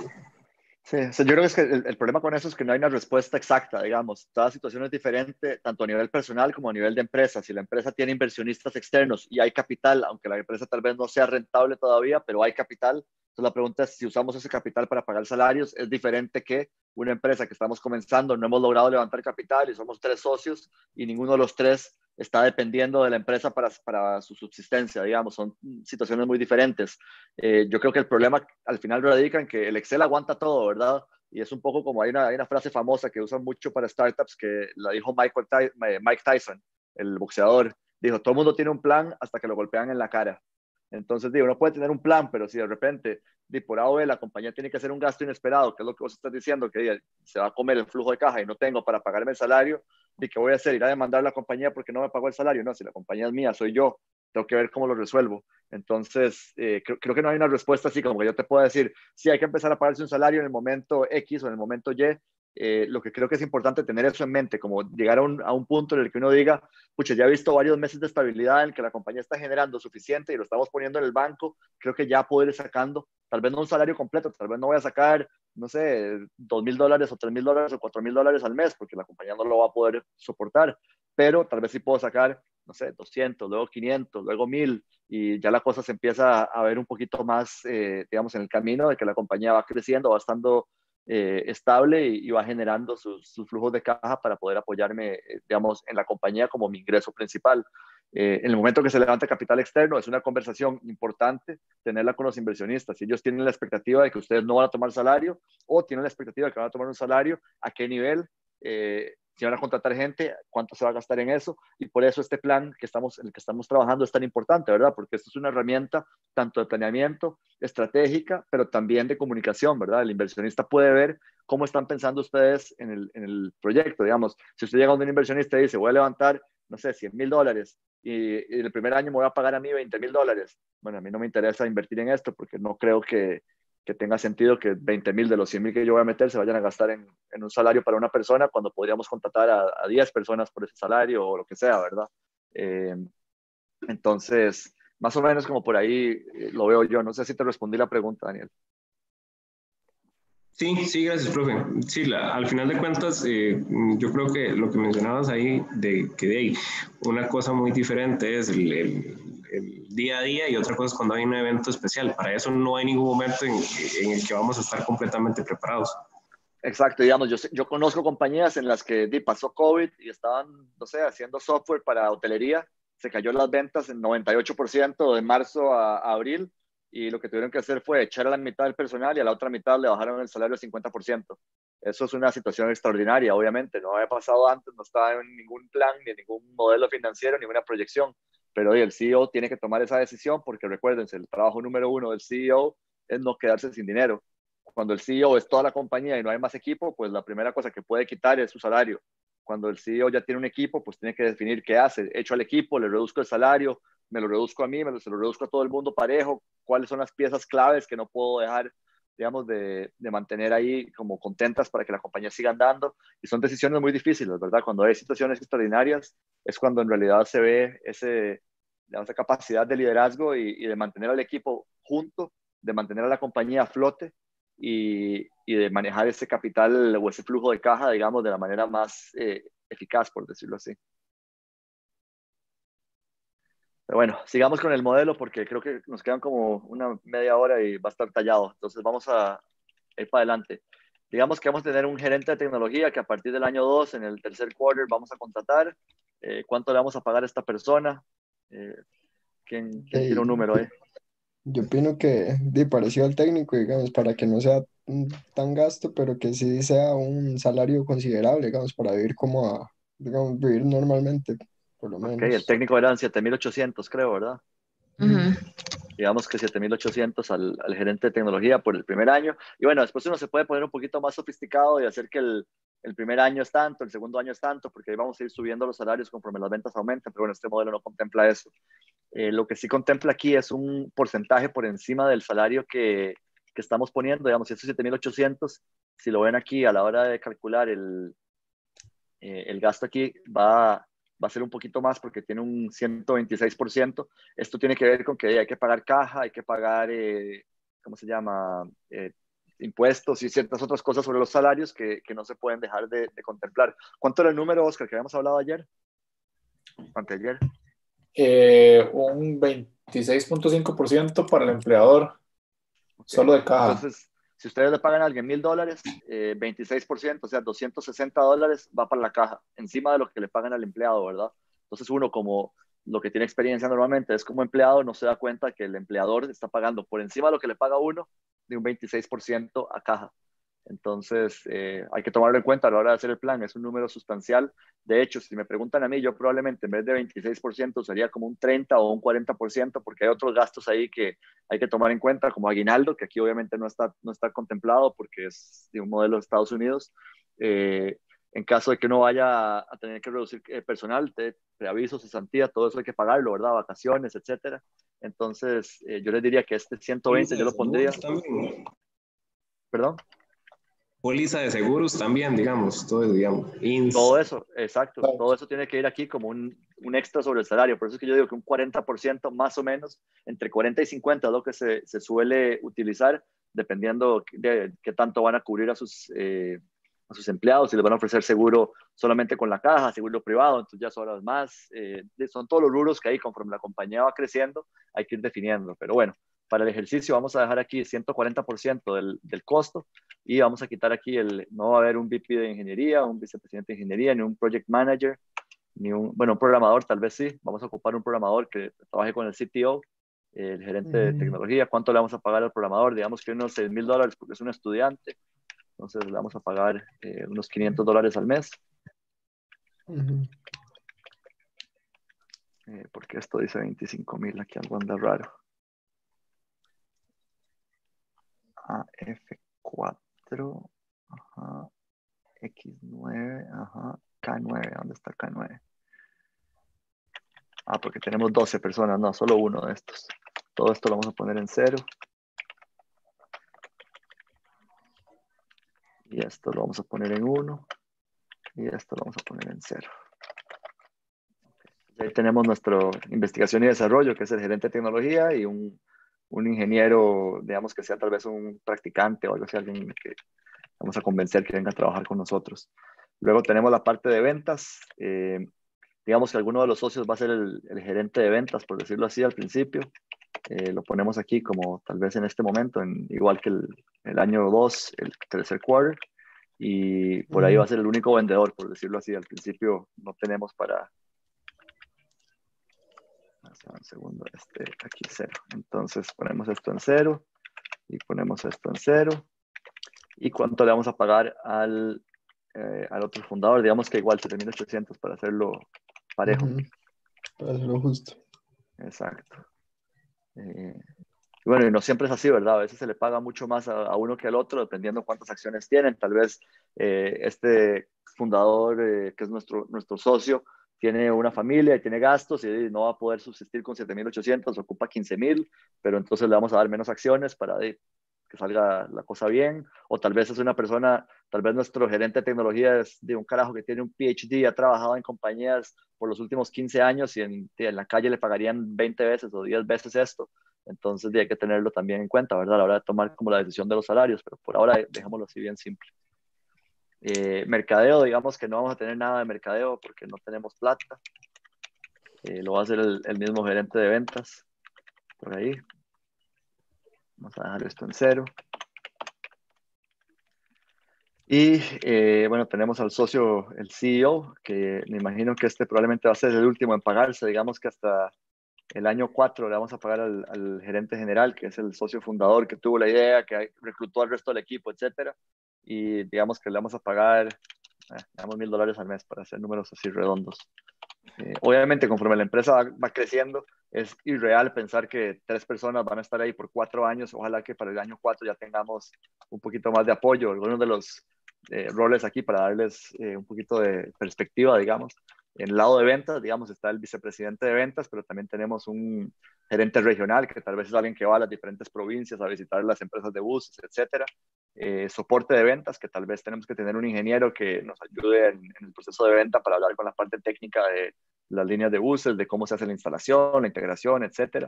Eh, a veces tenemos como un tipo de secretaria o alguien que, un secretario que lo que puede hacer es recibir llamadas, mandar correos, eh, estar como encima de la jugada, como una, una parte administrativa ahí de, de, apoyo a ventas. Eh, en mercadeo tenemos el vicepresidente de mercadeo, una, eh, una, opción aquí sería que el vicepresidente de mercadeo o la vicepresidenta de mercadeo sea la misma que la de ventas, suele ser que son la misma persona o a veces son dos roles diferentes, pero dependiendo qué tan grande es la función. Eh, un gerente de producto, alguien que se dedique a la parte de comunicaciones, marca, todo eso, y bueno, si hay otros, otros gastos.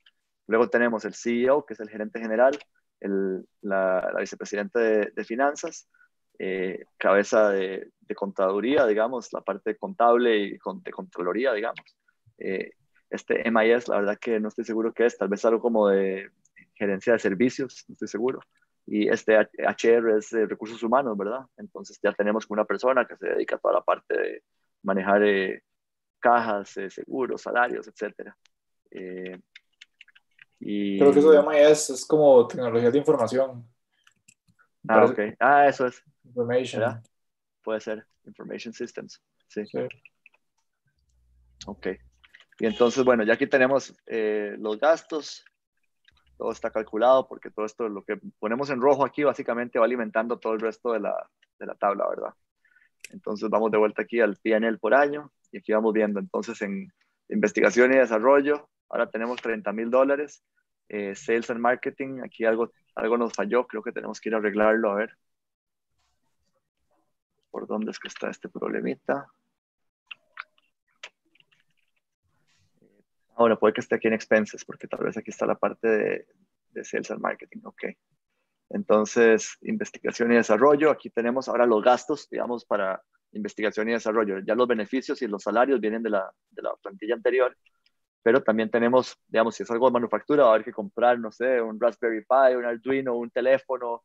Hay algunos gastos que hay que hacer. En su caso, me imagino que tienen que comprar tal vez eh, de un par de iPads o teléfonos o lo que sea que van a poner para hacer sus prototipos, ¿verdad? Uh -huh. eh, eso en realidad, eh, ahora que lo pienso, debería estar aquí en CAPEX, porque eso sí son como cosas que son activos que van a quedar. Entonces, digamos, el prototipo, digamos que vamos a gastar en, en el prototipo, ¿cuánto vale un teléfono? ¿Cuánto vamos a gastar? De unos 300, 400 dólares. 300, sí. Ok, 350, pongámosle. Y digamos que vamos a gastar solo uno el primer año porque vamos a ser súper conservadores, luego vamos a gastar mil dólares el segundo año. Eh, hagámoslo mejor así como 350, 350, 350 y 350. Y luego 500, 500, 500 y luego 1000, 1000, 1000. Conforme la vara va creciendo vamos a ir siendo un poquito más agresivos con nuestros gastos. Uh. Y para los empleados aquí eh, les tenemos que comprar computadoras que me imagino que valen como unos 3 mil dólares, ya esto lo está calculando. Tal vez 3 mil es muy caro, pero una computadora, pongámosle 1500. 1500, sí. Eh, y bueno, volvámonos aquí a la, a la, plantilla anterior en la que estábamos. Entonces, Tech Supplies, como no estamos manufacturando un producto, yo creo que aquí podríamos ponerle cero a esto. No hace falta que tengamos eh, supplies. Luego, eh, misceláneos, ¿qué, ¿qué, gastos vamos a tener, digamos, de, no sé, servicios que ocupamos en Internet, licencias de software, eh, todo, todas esas cosas, tal vez le ponemos cuánto, unos 100, 200 dólares al mes, eh, al quarter. Sí, sí, pueden ser también de lo de los servidores. Correcto. Bueno, eso iría en Cox, ¿verdad? En teoría ya lo tomamos en cuenta. Sí. Esto es más como licencias y cosas que cada una de las personas necesita eh, para poder hacer su trabajo. Digamos que después sube a 500 en el año 3 y ya lo dejamos en 500. Voy a ir un poquito más rápido para tratar de terminar y que vean como la plantilla completa. Eh, en ventas, entonces aquí si tenemos que viajar, hacer viáticos, obviamente los viáticos aquí están caros porque probablemente contemplan tiquetes de avión y otras cosas, digamos que son unos 50 dólares, una cosa así de, viáticos, igual creo que eh, no tenemos nadie que esté utilizando esos viáticos, no hace diferencia. Misceláneos, digamos que unos 100 dólares ahí como gastos de cenas y cosas para los clientes. Y luego tal vez sube a unos 300 dólares. Vamos ahí con 300 dólares. Luego en mercadeo, creo que van a tener que gastar un poquito en mercadeo. ¿Cuánto, ¿Cuánto creen que van a gastar? Esto es literatura y, ¿cómo se llama? Relaciones públicas. Estos son shows de conferencias que aquí creo que no, vamos no tendríamos, no aplica. Eh, misceláneo y otros. Entonces, ¿cuánto le ponemos a, a la parte de gasto de, de mercadeo? De mercadeo, pues. 200 dólares. Como unos 200 dólares. 200 hasta el final para hacerlo fácil. Y luego eh, misceláneo otro, vamos a ponerlo en cero porque si no, no nos va a alcanzar la plata. Ya más adelante le podemos poner más plata. Eh, y esto es por quarter, ¿verdad? Gastar 200 dólares en un quarter no es nada. Estamos hablando de 100 mil colones a lo largo de tres meses, son 30 mil pesos al mes. O sea, nos hace mucho con, con, con eso, ¿verdad? Entonces, para que ustedes más o menos tienen, cuando lo hagan, lo tienen que hacer un poco más realista. Eh, la parte legal, eh, bueno, hay que pagarle a algún abogado que nos ayude con contratos, que nos ayude con esto, con lo otro. Eh, ¿Cuánto creen que podemos gastar en abogados? que puede ser como unos... Como 500. Oscar, ¿cómo lo ves? Usted que es hijo de abogado. Yo creo que, a ver, el gasto más fuerte va a ser al principio por el tema de constituir la empresa y crear, por ejemplo, los contratos, los machotes del contrato con, las, con los clientes, ¿verdad? Ya una vez que estén en funcionamiento, o sea, que estén caminando, eh, creo que no van a haber mayores gastos a menos de que se necesite eh, un abogado específicamente para una negociación o que tuvieron algún problema con algún proveedor o que quieren incursionar en algún otro tipo de, de no sé, de servicio o producto, algo así. Por ejemplo, el tema de... ¿Perdón? No, no, perdón, pero es que tenía aquí abierto ah, Este, no, no, eh, por ejemplo, si quieren inscribir la marca y así, que son cosas que van saliendo en el camino, pero yo creo que para empezar, si unos 2.500 dólares el primer cuarto me parece que está bien, considerando que es nada más para inscribir la empresa, eh, crear un machote de contrato para tener ahí los, con, los clientes y después con cada cliente que ustedes hagan van a tener que modificar ese contrato y después eh, preguntarle, por ejemplo, al abogado que les ayude. Entonces, digamos que yo diría que tal vez por cuarto, no sé, unos que pueden ser unos 500 dólares eh, por cuarto de, digamos que sea asesoría legal, me parece que está bien. Y conforme la empresa crece, también va a haber problemas de eh, pleitos legales, de empleo, de, demandas, qué sé yo. Exacto. una cosa que no estamos contemplando aquí es que si queremos levantar capital, eso nos va a costar también porque hay que hacer esos eh, contratos de, de, inversionistas que te los tiene que revisar un abogado 100%. Exacto. Eh, teléfono, internet, bueno, esto es como por persona, entonces creo que 200 tal vez es mucho. ¿Cuánto cuesta una, un teléfono e internet por persona ahí más o menos? yo creo que tal vez con 15, 20 mil colones, dependiendo. Sí, 16 mil, digamos. Plan de corte. 50 dólares. Igual aquí siempre es mejor ser eh, pues, conservador, que quiere decir agresivo en el número. O sea, prefiero ponerle 50 que salga 40, entonces tenemos más colchón cuando hacemos el cálculo de cuánta plata vamos a necesitar para este negocio. Y luego misceláneos, eso es todo, ¿verdad? Desde hojas de papel para la impresora hasta em, se me dañó el, el mouse, todas las cosas que son como consumibles de una, de una oficina normal. Eh, digamos que al principio va a ser muy, muy bajo, unos 200 dólares tal vez, pero después va, va a ir creciendo, ¿verdad? Entonces, sí.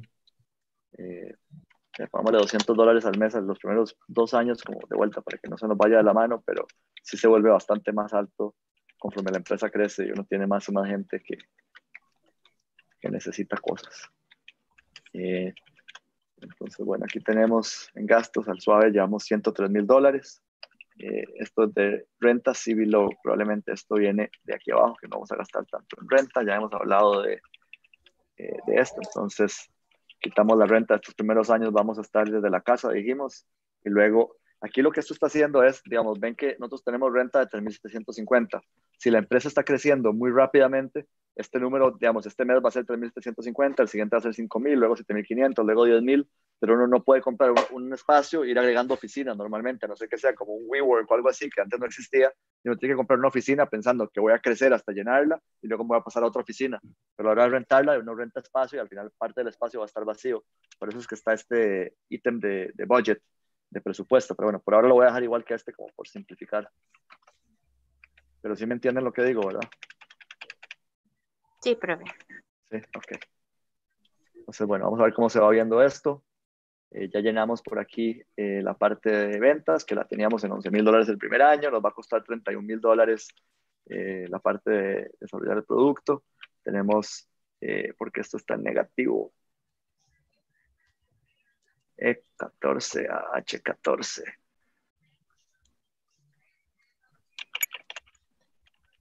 a H14. H14. Esto es E4 menos E9. Ah, ok, sí, ese es el, margen bruto porque estamos perdiendo plata, por eso está negativo. Eh, ok. Y entonces, para terminar aquí, lo que nos queda es esto, que es el, el CAPEX, que es lo que habíamos hablado, ¿verdad? Una computadora para cada persona, 1.500 dólares, los prototipos. Y ahora la gran incógnita es, voy a, voy a borrar esto que está aquí, que son como las inversiones que recibe la, la, compañía a lo largo del tiempo. Y lo que vamos a ver es cuánto tenemos que recibir y cuándo. Entonces, vamos a ver. Por aquí podemos ver que, eh, veamos este cash flow aquí un segundo. Entonces, el primer año tenemos pérdidas de 8.800 dólares el primer cuarto, el segundo cuarto 18.000, luego 27.000. Aquí lo que se busca es ver hasta qué punto estamos en pérdidas y, bueno, en este caso estamos en pérdidas hasta el, hasta el final, entonces vamos a tener que subir el precio del producto más adelante para que no nos, no nos pase esto. Vamos a ver. Si ven aquí, aquí algo anda mal porque estamos quemando un millón, este número es el que está mal. Un millón de dólares. Sí. Q2 a T1 del PNL by quarter. Q2. T1. Este es el problema aquí.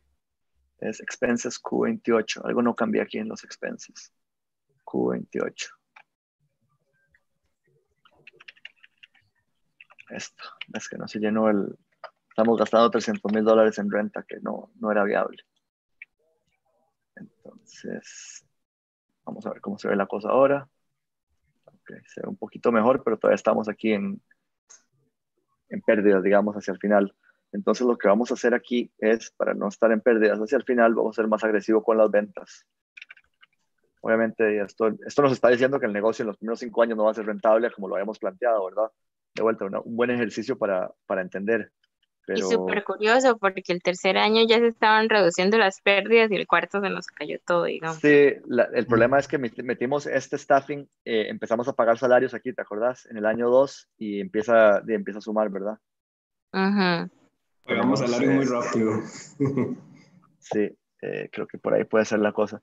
Igual, bueno, hay que darle un poquito más de cabeza, pero lo que vamos a hacer para arreglarlo, a ver, vamos a, a ser más agresivos de vuelta con las ventas.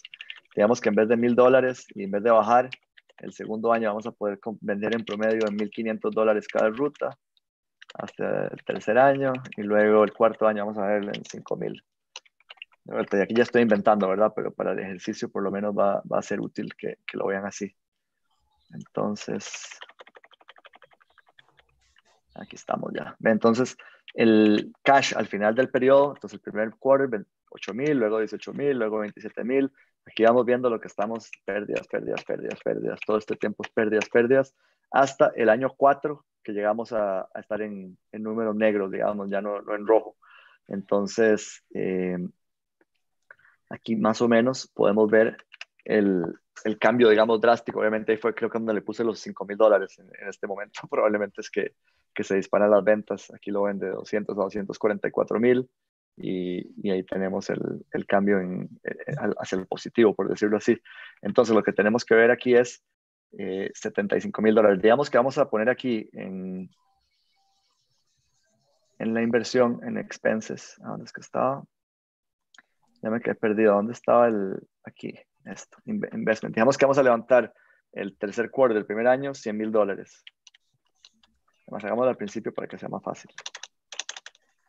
Entonces levantamos 100 mil dólares, aquí nos dice el cash al final del periodo son 91 mil, 81 mil, pa, pa, pa, pa, pa, pa, y ya ven que todo el tiempo estamos en, en positivo. Entonces con 100 mil dólares, digamos, podemos echar a andar este negocio que obviamente es ficticio porque cambiamos varios números hacia el final.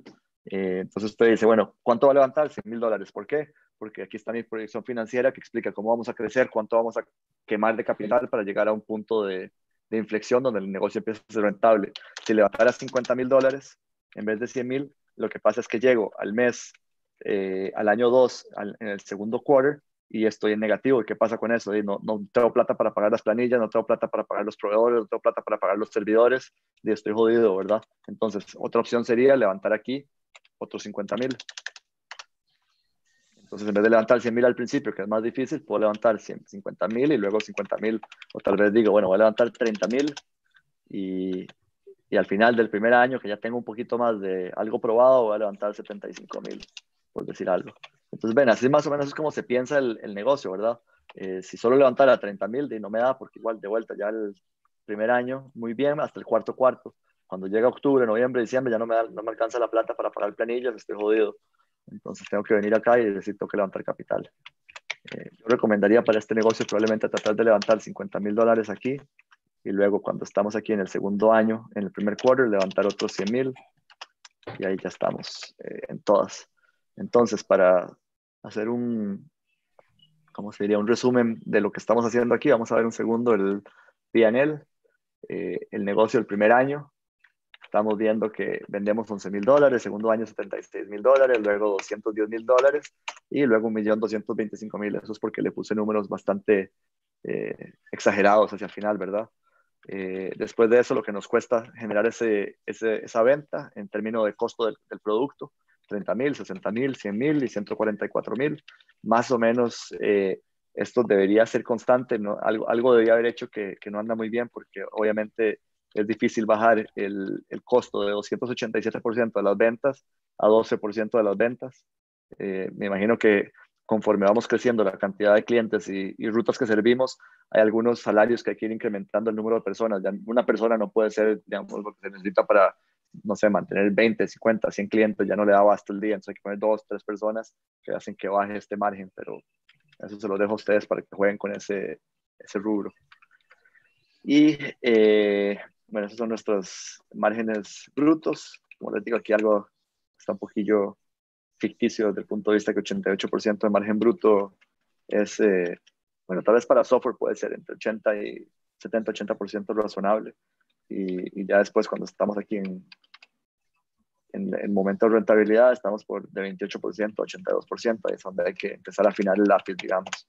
Pero entienden más o menos cómo esta hoja nos da un snapshot, así como una visión en el tiempo de año con año, cómo van cambiando eh, los flujos de caja, cuáles son las diferentes áreas donde, digamos, tengo que tratar de bajar los costos de, de servir al producto, tengo que tratar de gastar menos en inversión y desarrollo porque no me da el, el, colchón para poder hacerlo, tengo que invertir más en ventas y mercadeo para crecer las ganancias, y si hago todo esto, ¿cuánto capital necesito? Entonces, esa es la primera página, el P&L, Profit and Loss. Lo otro que ven aquí es el balance sheet, que nos va mostrando como en cada momento del tiempo cómo estamos desde un punto de vista de, de la compañía. Entonces, cuánto tenemos en cash, cuánto tenemos en cuentas por cobrar, cuánto tenemos en eh, activos capitales, que son, digamos, lo, lo que habíamos hablado de eh, si gastamos en computadoras o cosas así para el equipo. Eh, a veces o sea, se invierte en máquinas o en escritorios, eso sería un activo capital. Eh, capital CAPEX se llama, Capital Expense. y bueno, todo lo que tenemos que pagar. Y aquí al, al final, digamos, es a donde podemos ver si, si, levantamos capital. Aquí sale también como una inversión que recibimos. y eso obviamente va contra el, el, cash flow porque eso es lo que nos resuelve que no tengamos que estar en rojo todo el tiempo porque estamos usando el capital que levantamos. Creo que no me da tiempo de, ver esto en detalle, así es que no voy a tratar de, de resumirles una, una, balanza de pagos, aquí una balance sheet así en, en, cinco minutos, pero voy a pausar para ver si primero Oscar tiene comentarios y luego si ustedes tienen preguntas. No, no, nada más me, me parece mejor aprovechar para responder dudas si alguno tiene preguntas. Recuerden que esto, esto queda de tarea para cada eh, idea de negocio, ¿verdad? Entonces, de ahí, es importante que pregunten. Y la tarea en realidad es llenar todos los puntos eh, de input que están en rojo. Eh, obviamente, si lo hacen lo más, si, si, le dedican un poco de tiempo, al final van a entender mucho mejor el negocio y no solamente este negocio, sino como en general lo que les decía al principio, cuáles son las palancas que ustedes tienen, cuánta gente contrato, cuánto gasto en, en, servidores, cuánto gasto en computadoras, cuánto gasto en renta, cuánto capital necesito levantar y cuándo. Entonces, de, traten de hacerlo de la manera más eh, realista para que verdaderamente se acople a su modelo de negocios y cuando presenten la, la presentación del, del, pitch deck al panel, que ahorita Oscar les va, les va a comentar un poco sobre los, las próximas clases, eh, creo que va a ser pues, mucho mejor recibida si le han dado cabeza y tiene sentido, digamos, y se ve realista la proyección financiera. ¿Preguntas? Muy enredado o está claro nada más que es bastante trabajo. Un poco de ambos. Qué golpe. Ya, ya nos destruyó todo el plan que teníamos, entonces tenemos que pues juntarnos y pensar bien qué vamos a hacer.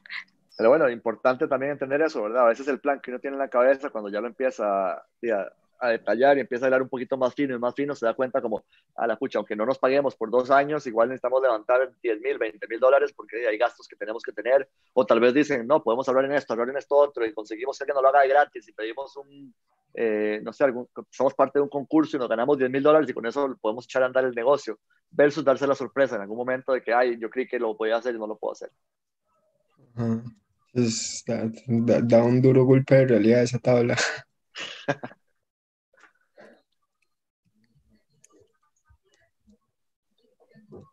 ¿Alguien más? Pregunta, comentario. Yo sé que nos dedicamos mucho con, con Nicole y Alonso, pero sí me gustaría como que los demás también pregunten, participen, porque de vuelta después les va a tocar a ustedes hacerlo en cada uno de sus eh, eh, ideas de negocio.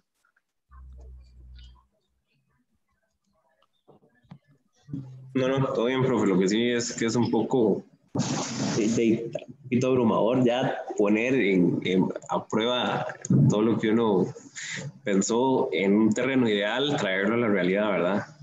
Entonces, yo creo que lo que lo que están viviendo un poco es como que el emprendimiento, digamos, es como mitad arte, mitad ciencia, ¿verdad? Primero es como tengo un problema que descubrí, tengo esta idea, voy a ser creativo y lo voy a resolver, pero después está la realidad de que hay que tener un poco de, eh, del backing financiero, digamos, para poder echar a andar este negocio eh, hacia adelante y que no solamente funcione, sino que sea sostenible, que tenga pues pies y cabeza, ¿verdad? Porque si no, una idea, muchas ideas nunca llegan a hacer nada porque la gente no las ejecuta, y muchas ideas nunca llegan a hacer nada porque las ejecutan sin un plan. Entonces la idea aquí es como que lo vean eh, en ambos, ambas caras, ¿verdad? Empezamos mucho como qué te apasiona, cuál es el, proyecto, cómo hacemos para encontrar algo que verdaderamente sea un problema que vale la pena resolver, encontrar ese mercado, llegar con una solución que tenga una ventaja competitiva, cómo nos vemos contra la competencia, tamaño de mercado, cómo llegamos a ese mercado. Pero ahora sí que tenemos todo eso resuelto, pongámoslo en papel y, y veámoslo en la hoja de cálculo, cómo se proyecta, digamos, hacia adelante, ¿verdad? Algo, algo importante antes de dar la palabra a Moisés, que creo que tiene una pregunta, es que se recuerdan que al principio habíamos hablado de las metas SMART, ¿verdad? Que una de las características era que fuera medible. Esto precisamente significa que sea medible, porque uno dice, bueno, hey, mi meta es, este, no sé, hacer tantas ventas en el año, pero ¿qué significa eso? A fin de cuentas, en números, ¿verdad? Y si no tenemos una proyección, empezamos en una empresa y empezamos a hacer eh, gastos, ingresos y personal y cosas y no tenemos contra qué medirlo. Entonces va a pasar que lo que no se puede, hay una frase que dicen por ahí en administración y es lo que no se puede medir no se puede controlar.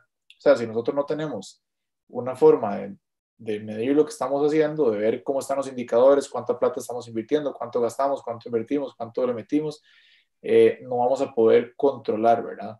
Eh, es como un sistema, una línea de producción industrial, ¿verdad? Viéndolo desde el punto de vista de ingeniero, o sea, una línea de producción yo puedo tener, no sé, una, una fábrica que haga botellas, eh, pero si no sé en qué punto está quedando pegada la producción, cuál máquina está fallando, eh, cuántas botellas me saca por minuto tal otra máquina, no voy a entender cuánto puedo producir, ¿verdad? No voy a saber cuánto realmente está funcionando mi negocio.